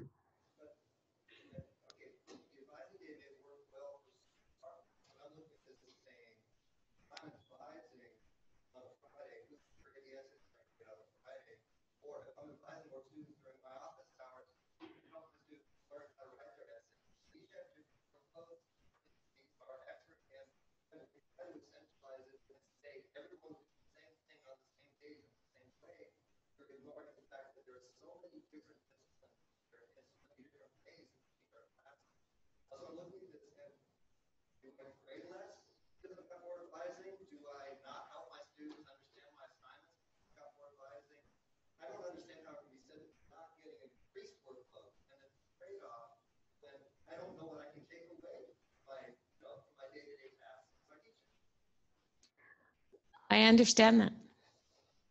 I do understand that. And I think that's where our conversations continue is to, uh, if we're being student centered and we're trying to look at how we can meet the needs of our students, we don't there's no easy answers or else we would have had them uh, had them solved a long time ago and so we're continuing with conversations. We're continuing to try to uh, um, investigate what works and what doesn't.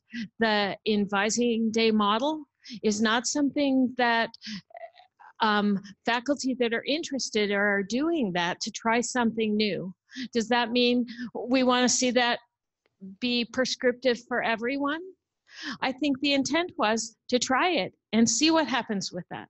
It's the experiment experimenting, like Lindsay had said. So sometimes we're going to find solutions by just trying and trying and trying the new things. As a scientist, I learned that most of my work as a scientist was trying and trying and trying. And then something that I thought worked, repeating it again and again and again um, to see if I got data. And in the same way, we're doing that here. We're trying to move forward in a purposeful way.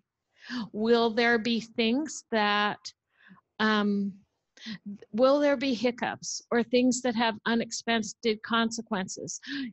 There always are. Will we have to make changes down the road and shift and adjust? But hopefully, we're in, we keep our eye on, eye on supporting our students to be successful. We're committed to student success and we're committed to a growth mindset that we're we're going to work to improve and we're going to work to change what we're doing to better meet meet our needs but also with the realm that we're meeting the students needs and i don't have the complete answers for that uh, but I can truly tell you, I my intent is not to pile more and more and more on faculty. thank you for the questions and for your comments, Kathleen. We are uh, out of time. Unfortunately, we've got a, a presenter for our next session has come in. So before we leave, if I just want to make one comment, the presentations, the information for the presentations, we'll have that in a folder on the portal. I know, especially from the back, some of the presentations you can read all the text. So if you want to go back and take a look at the presentations, read through them, we'll have those available on the portal. We'll send out a link with that. So can we have a round of applause for all the people that have presented? They did a great job. We really do have some outstanding work going on here. Let's break and let's come together uh, right after 10 o'clock. Thanks.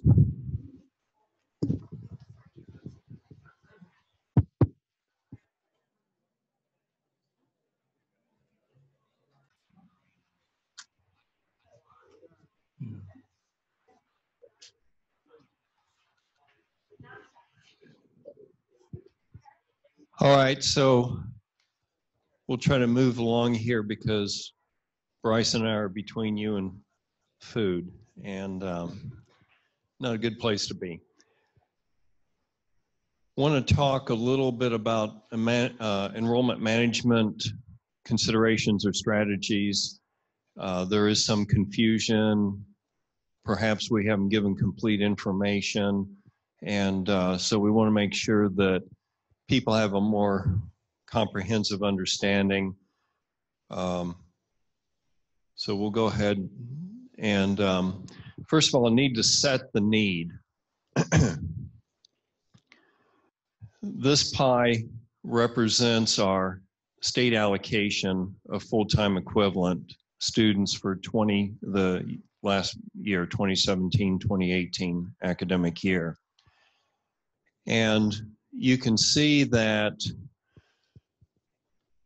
for those of you that are new to the Washington system, each year, community and technical colleges, each college gets a target.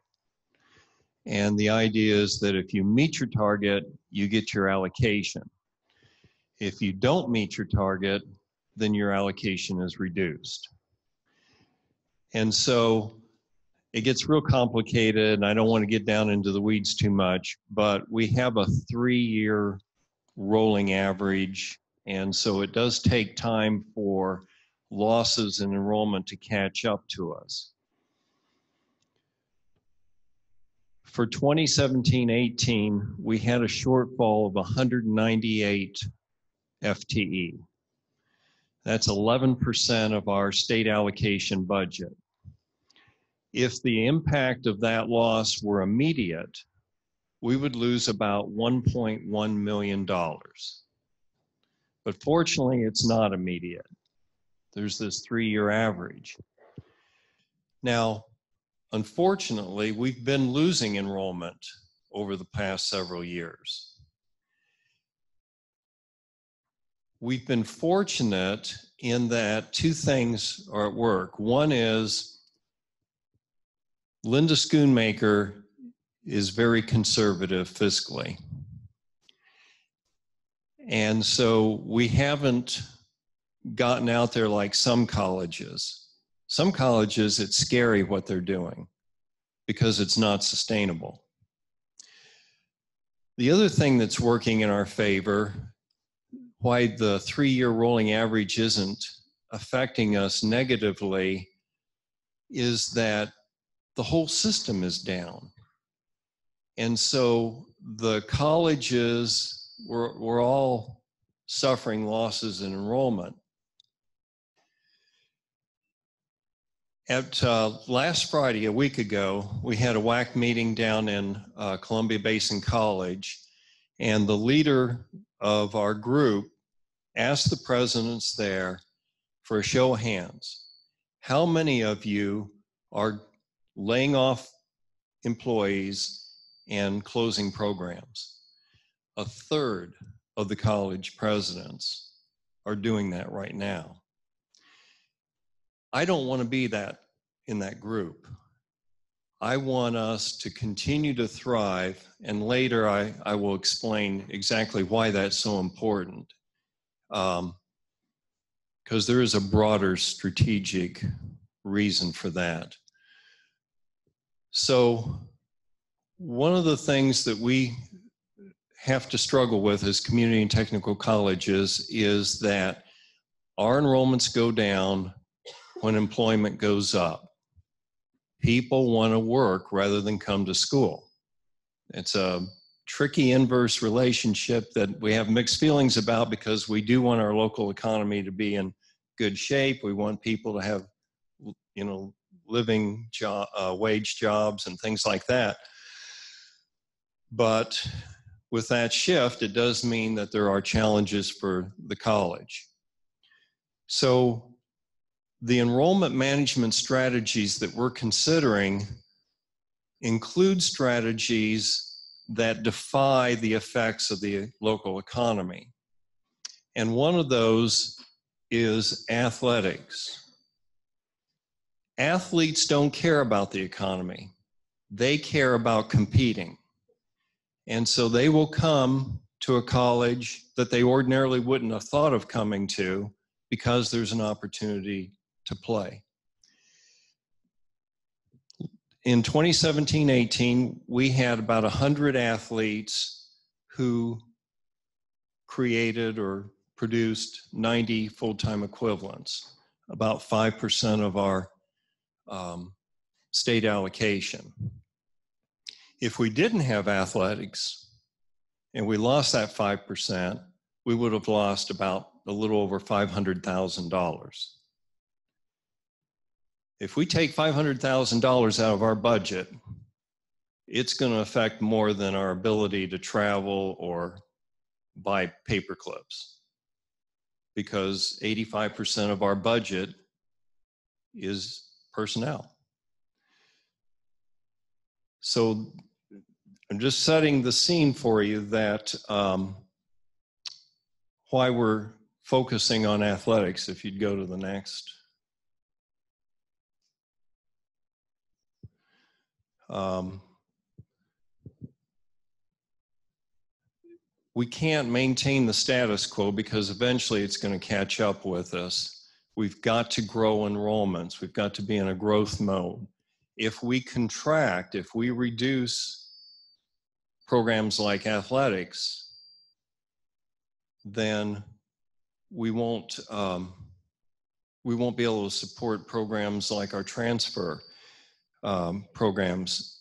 Um, in 2017-18, of the 100 student athletes that we had at Big Bend,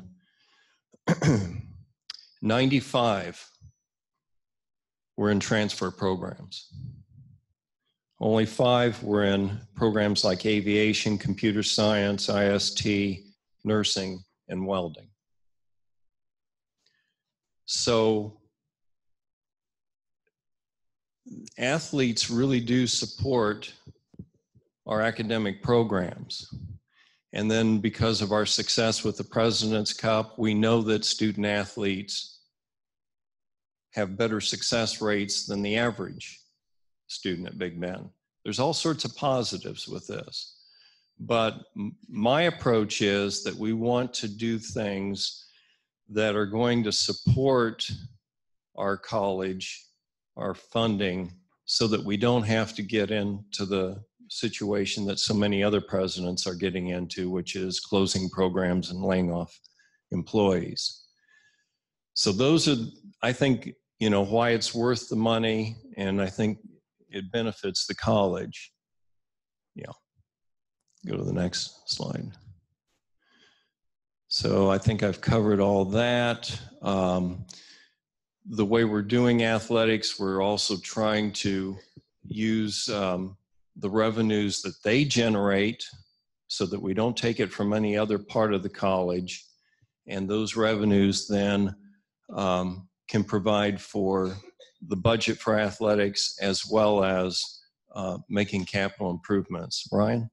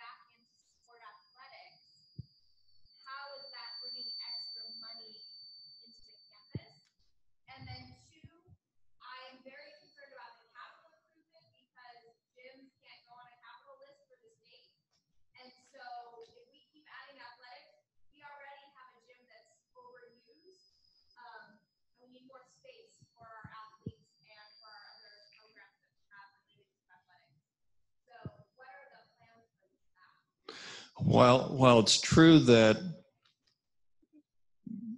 using the tuition um, revenues that student athletes bring in to help support the program, that doesn't, um, well, it's still, it's additional, you know, it's kind of applying for the cost, but it doesn't require taking money from other parts of the college. But the other thing is that the FTEs that those students generate then preserve that pie.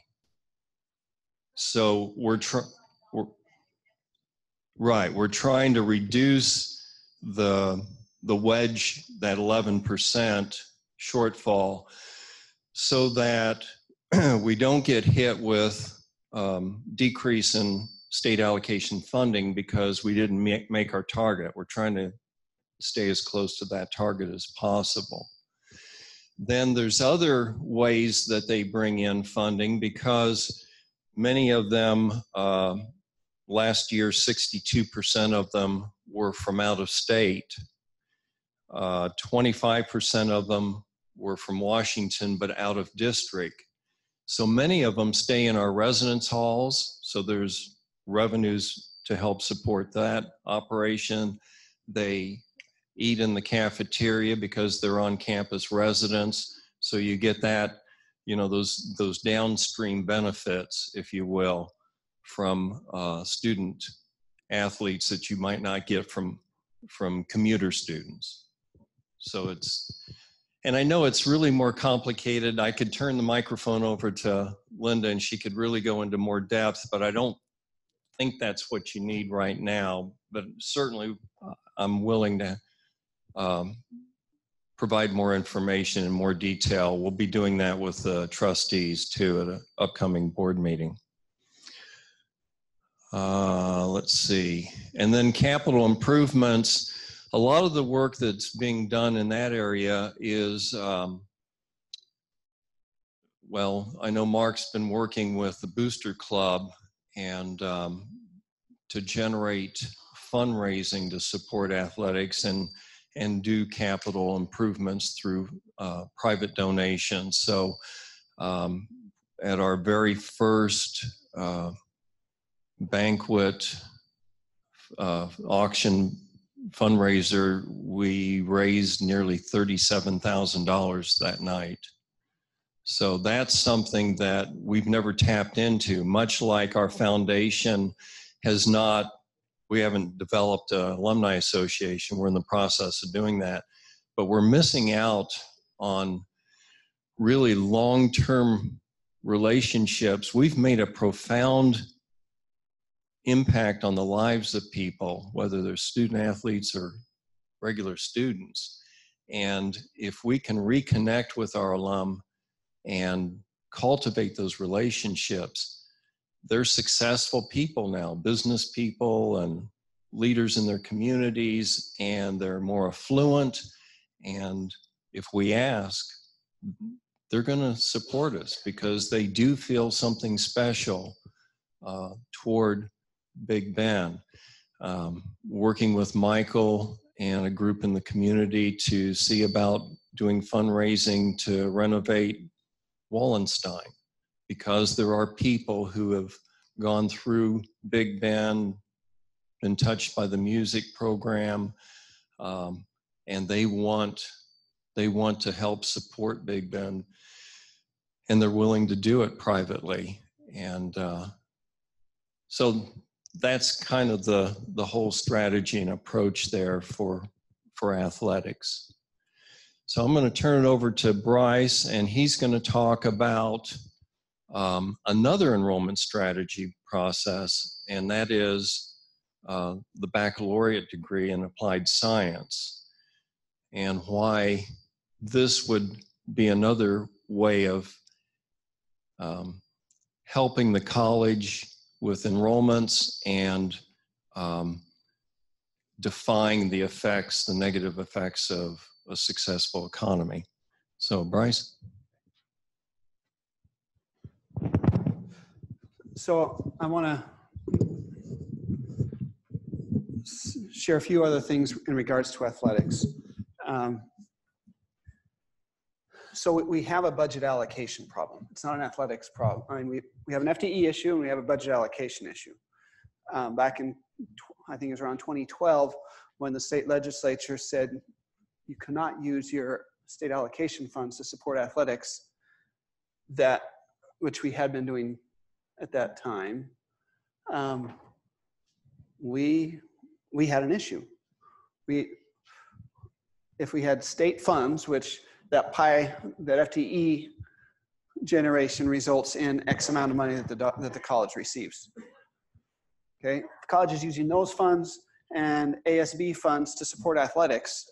You take away the allocation funds, your budget, your expenses are great, are greater than just what you're getting from ASB. You have a budget shortfall, okay? It's not, doesn't have anything to do with how athletics is operating and whether they're being fiscally responsible. It's that you don't have the funds available to, to athletics, okay? That they previously had. So at that time, the college made a decision to say athletics has built up a whole bunch of reserves funds. Use those reserve funds until they run out. Other colleges in the state said, okay, rather than using state allocation funds, which we're now prohibited from using, we'll just use tuition funds, which we are legally allowed to use.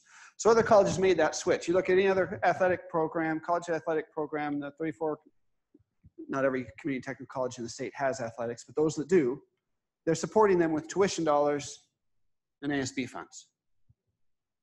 Big Bend didn't go that route. And so now we're at a point where this year, the reserve funds are gone. The, we've been living off of them every year for the past, well, since 2012. They're gone now. So now, what do we do? If we cut athletics, and it's either you either cut or you put more money into it, right? You cut or you grow. We can't afford to cut athletics because the FTE loss. And if we just said, okay, we're going to slap off, cut off a bunch of uh, tuition money and stick it into athletics, where's that money going to come from? It's going to come from all your budgets. And so we don't want to, we want to protect and preserve the budgets that departments have, cause no harm to folks, we can't afford to lose the FTE.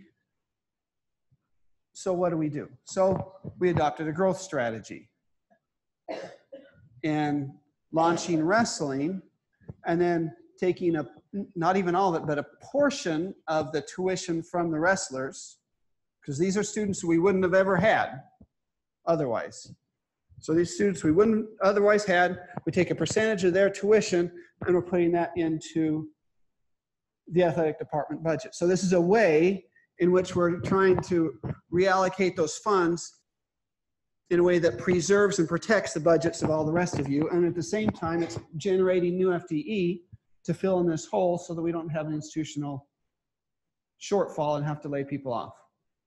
Okay? Is that making sense? So, and why, why in the world wrestling? Well, there's a lot of local support. The overhead was really low. We were able to keep the travel local within the region. We didn't give out any scholarships, so the scholarships is a big cost for the sports, and we had low insurance costs. There is an, and it had the potential to have large rosters. Every Ross, every new student there is more tuition dollars, more FTE, right? So it wasn't that if we offer, if we start a team that you got a roster of 10 students, those 10 students, they generate some FTE and some tuition. But when you do something like wrestling, where we can get 60 or 60 plus students, that's a lot of FTE and it's a lot of tuition.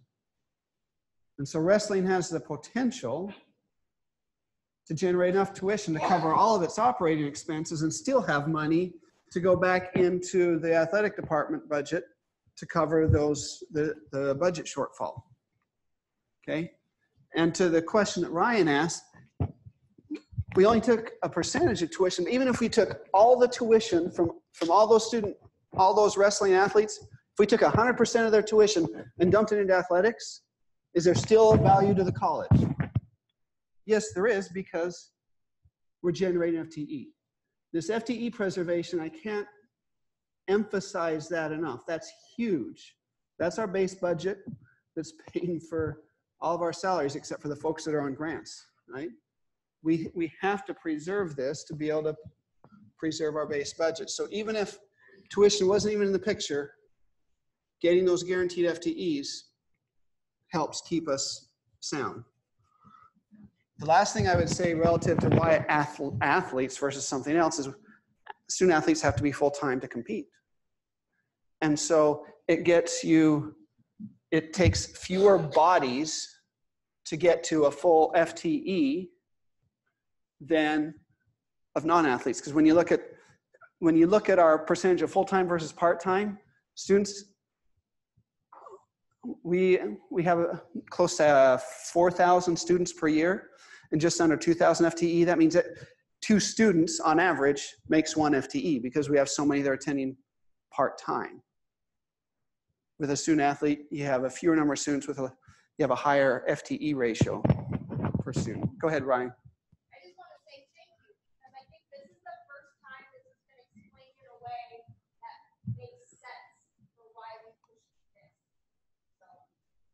Well, thank you. Hope, hopefully it's something. yes.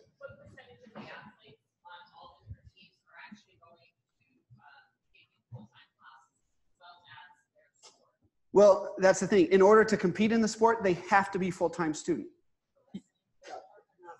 Okay. We have, we have locally made a decision that we're requiring that of. There have been a few, ex- there have been some one-offs, exceptions, but by and large, they've got to be full-time. And so when you, when you look here, there are about 100 student athletes in 17, 18, and that produced 90 FTEs.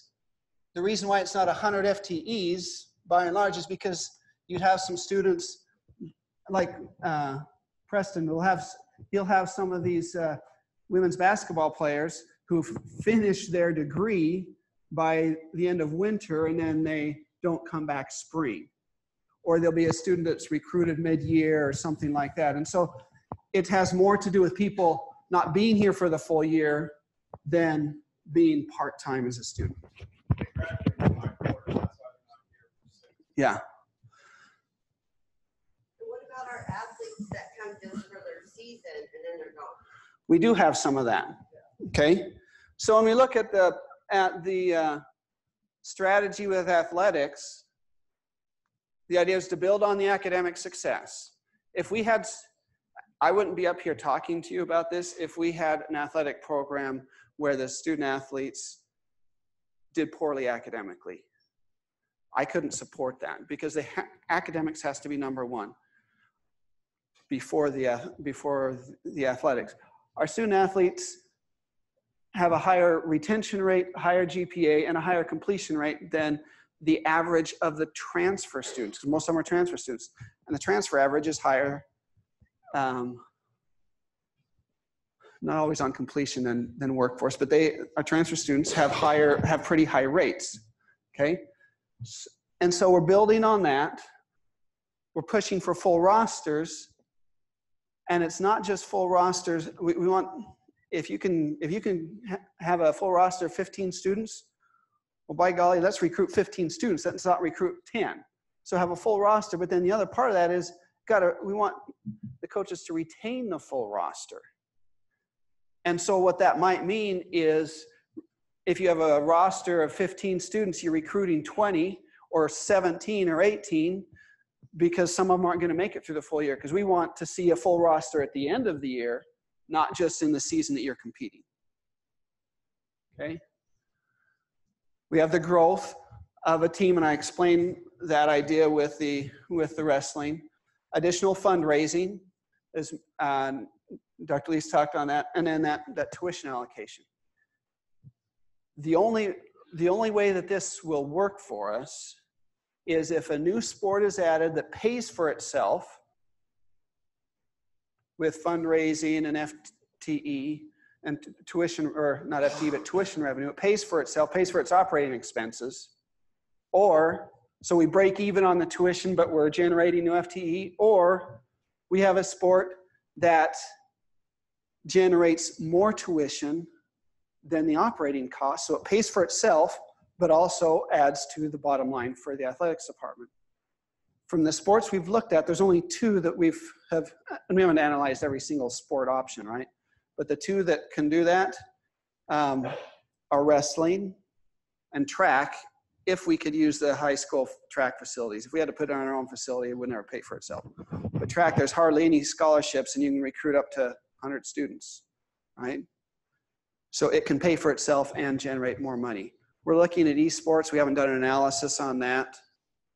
But the idea is we have to we have to be generating some more additional money and then allocating money just from those students so it preserves the budget for the rest of you. Any other comments on questions on that? And yes, sorry for those of you on the budget review task force, that wasn't explained very well in the, in the request. But again, I, I, I just want to say again, the value to the college, the greatest value is that FTE preservation. So even if you gave 100% of the tuition from those student athletes to athletics, there's still a value to the college in the FTE preservation because we need that. Go ahead, Jen.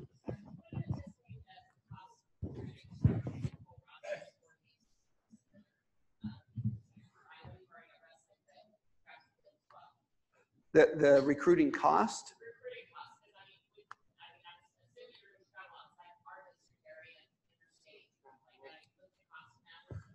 So there's a there's a team budget, and so that and recruitment is a part of that. And so the team gets. Here's the reality of what the coaches get told.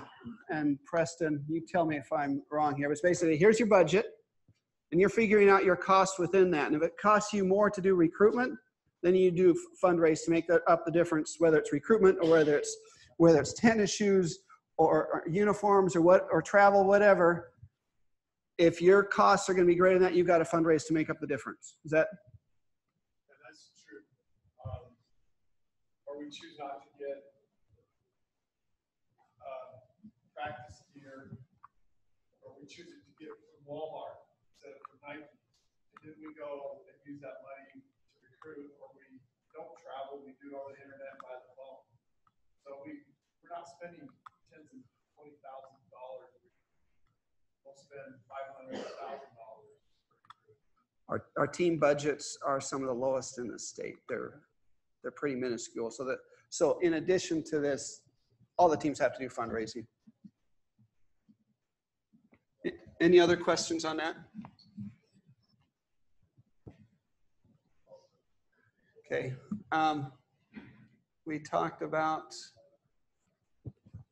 we talked about most of these. The one thing I want to point out when you talk about the benefit, does do student athletes really benefit non-athletes? Is there a benefit to non-athletes for having an athletic program? And you know, you can argue this a variety of different ways, but there's couple things I'd point out. One is, there'd be no there'd be no emotion or care about the Vikings if we didn't have a sports team, right? Your mascot's kind of meaningless if you don't have an athletics team. But just from a dollars and cents perspective, when you look at 2017-18, the the uh, the value of those hundred student athletes that we that we had, they uh, they paid they brought in enough revenue to the college to fund six full-time faculty, 53 classes taught by full-time faculty, or 131 classes taught by associate faculty, over $40,000 in S&A fee revenue, which is more than all the clubs combined, all the money that they requested combined. The fee revenue from our student athletes was greater than that. And enough of the needy student financial aid to nearly fund three full-time students for a year. Um, so there's a direct financial benefit as well. The more student athletes, the more S&A fees and so forth. So not to beat that horse, but just to give a little bit of perspective. Um, relative to the BAS. Um, and the BAS, the Bachelor of Applied Science is another enrollment management strategy that uh, we're looking at. We're looking at Title V grant as a major fund source to, to pay for the development of the degree. But a couple thoughts behind that. I've had heard some folks say, well, why in the heck would we think about that?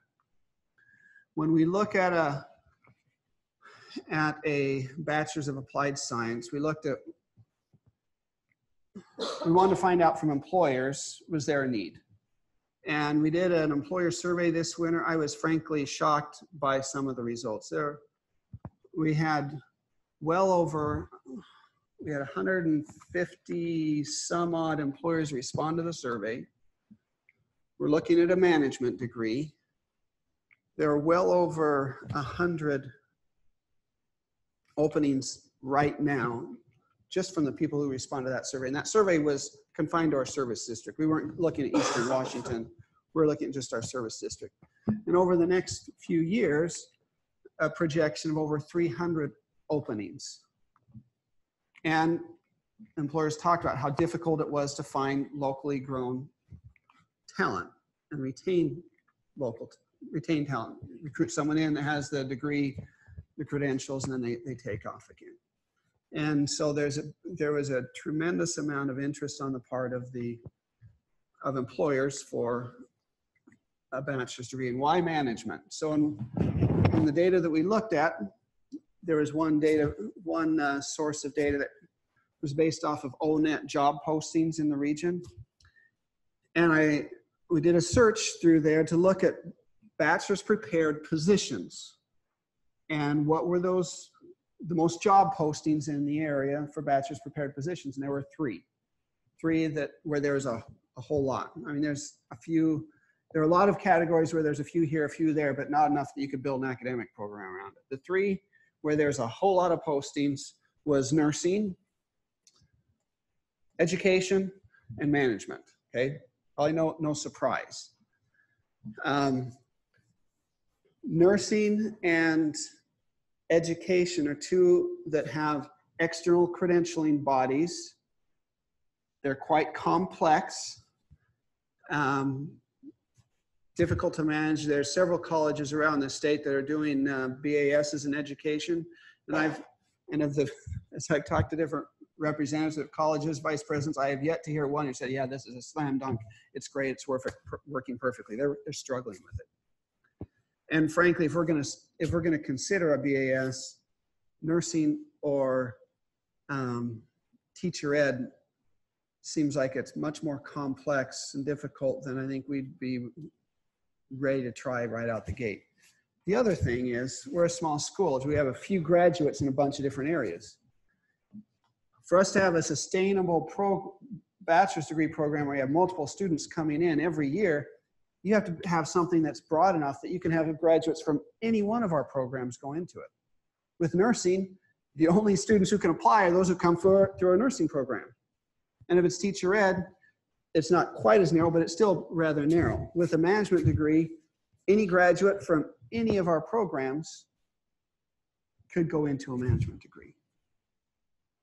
And so, hence, we're looking at that when we look at Terry talked about the economy, when we when we think about um, students or people that are that are working, then if there's a desire for them to go to school, then there's they have limited opportunities here. There is no baccalaureate granting institution within our service district. Uh, Central has a, a site here. Um, and we've had four-year schools come and go, but it has been a challenge to have consistency there and connections with the community to sustain the program. Um, one of the criteria we have to address in a BAS application is, are we meeting the needs of place-bound individuals? And that's really the idea behind a bachelor's degree is through the community colleges, meeting the needs of place-bound individuals who for whom it's a barrier to travel to Ellensburg or Eastern or Pullman or Tri Cities to, get it. Um, and so we're looking at developing something that would be offered in a hybrid type format in the evening. Some of the work we're doing with our evening programming, again, trying to address the needs of working adults um, who can attend in the evening. What we learn and what we do with our evening program for our associate's degrees will feed into and we'll build upon that for our BAS degrees. Any comments or questions about BAS?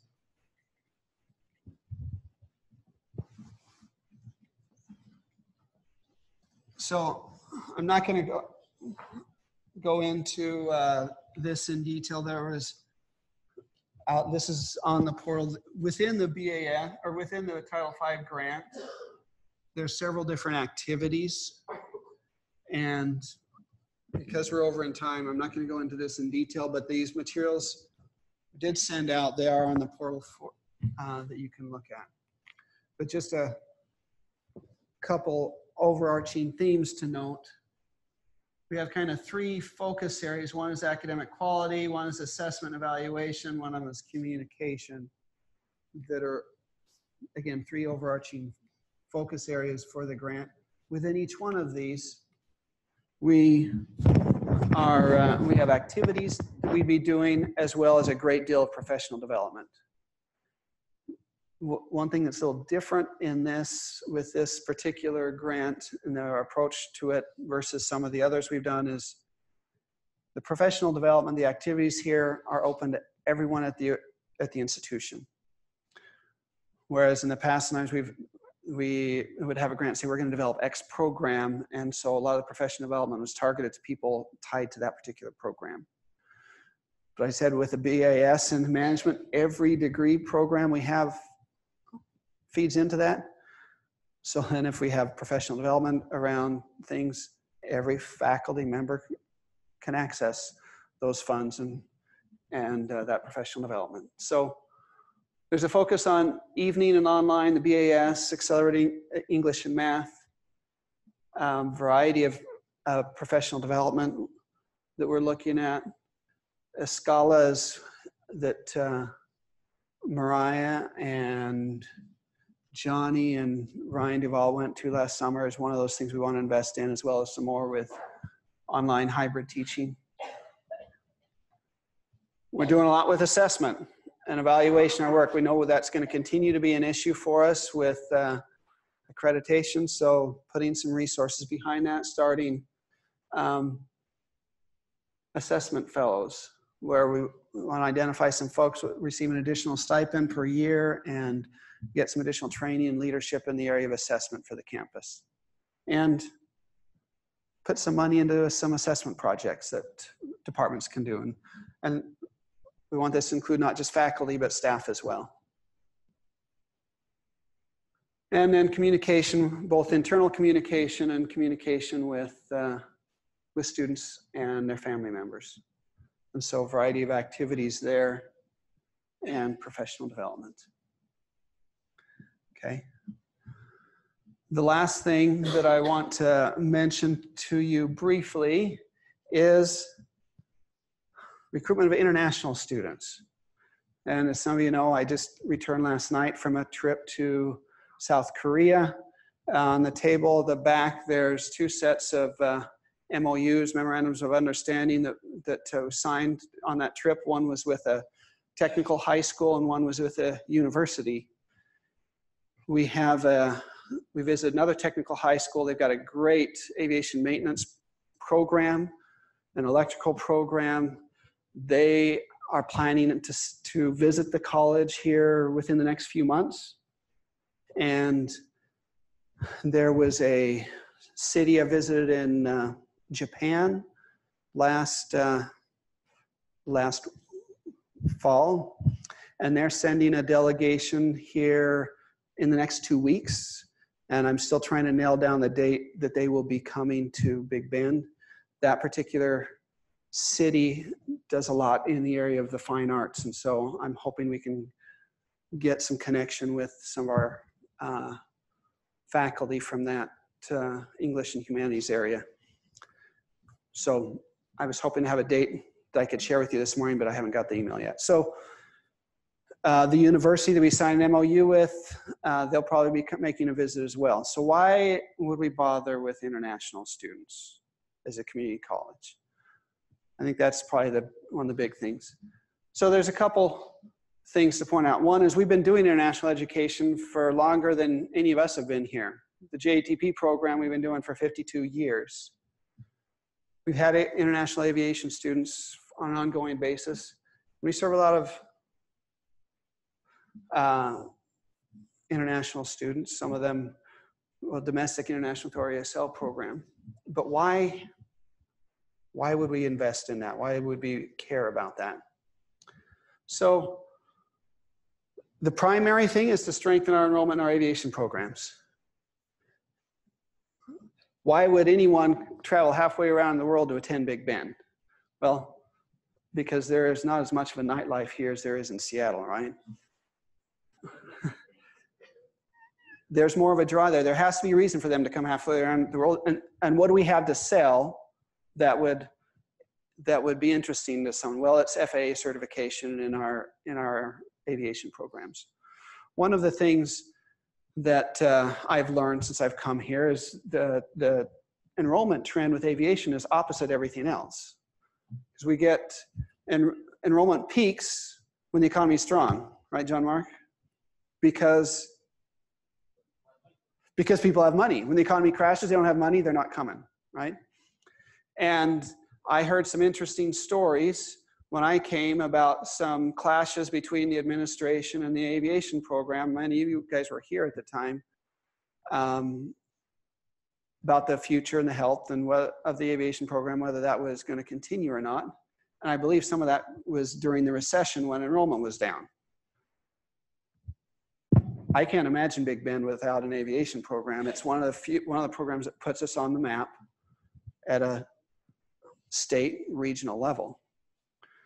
But we want to preserve the enrollments there. They're hurting right now in, in aviation maintenance, but they're strong in, in flight. And so this is, and so my hope is that we can have some partnerships in place so that at some point we know the economy is going to take a downturn. And wouldn't it be nice if we had some some partnerships in place where we had a stream of some international students that kind of pick up the slack the slack in enrollment to strengthen those, keep those programs strong, so that when we do see that dip, which we know is going to come at some point, we don't know when, but the economy is always doing this, right? That we have some more stable enrollment for those for those key programs. The soonest we would probably have any students here would be 2020, and even that it may be ambitious, right? We still have a lot to do there.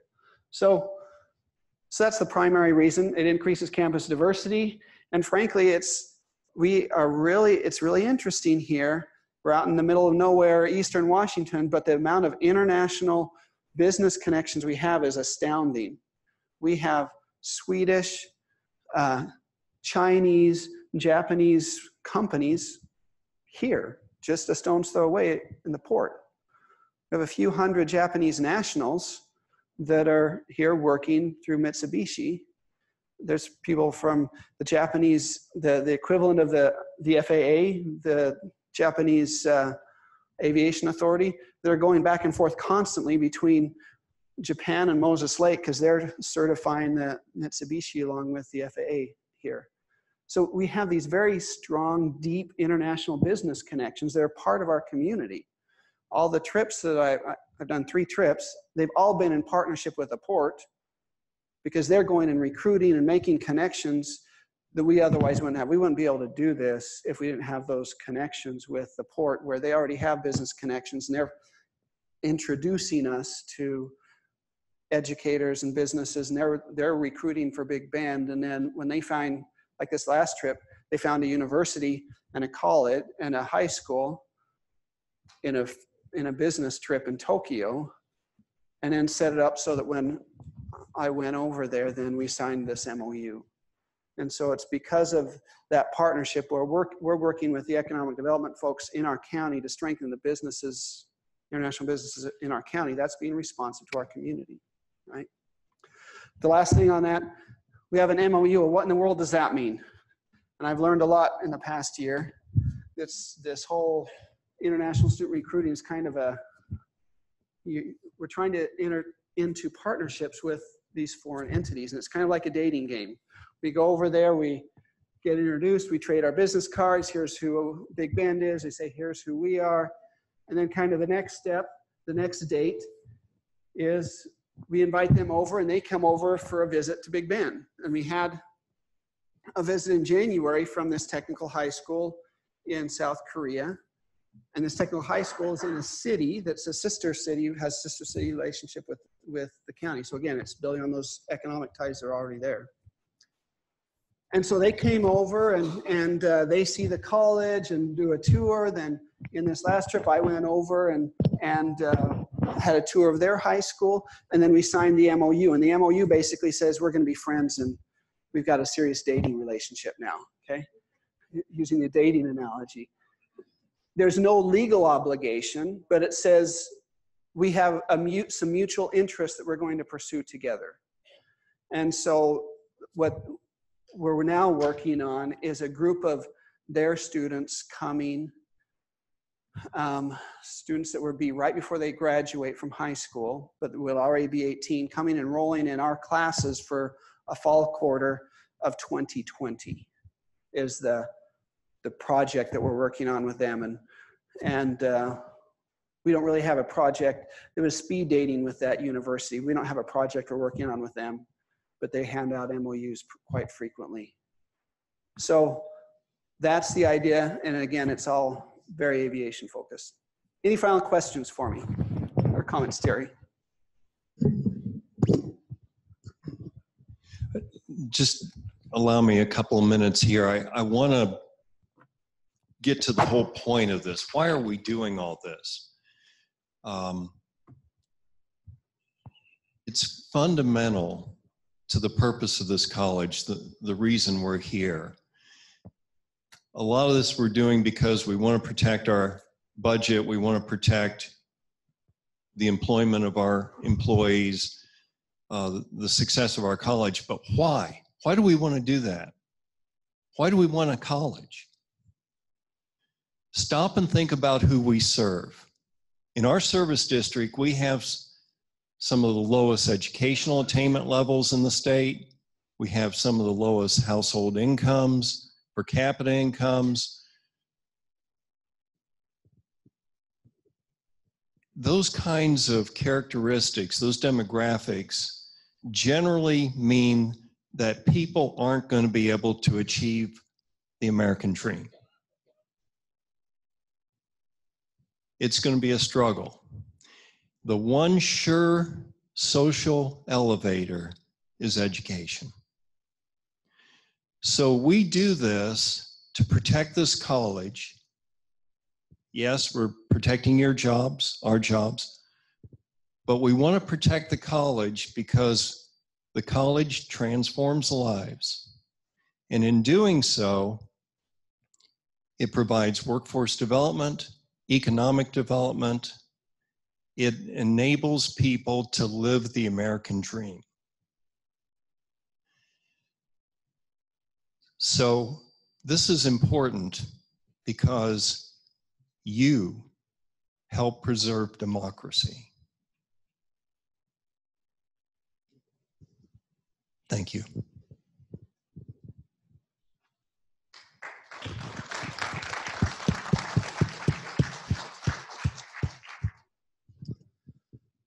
We will be going to lunch, and I have one important, very important request on behalf of Bryn and the assessment committee. Come back. So at one o'clock, um, we will be, we'll reconvene and there's some things with the assessment committee that they'll be sharing, going over some activity, and then and then we'll disperse for your divisional assessment work. But come back one o'clock and enjoy lunch.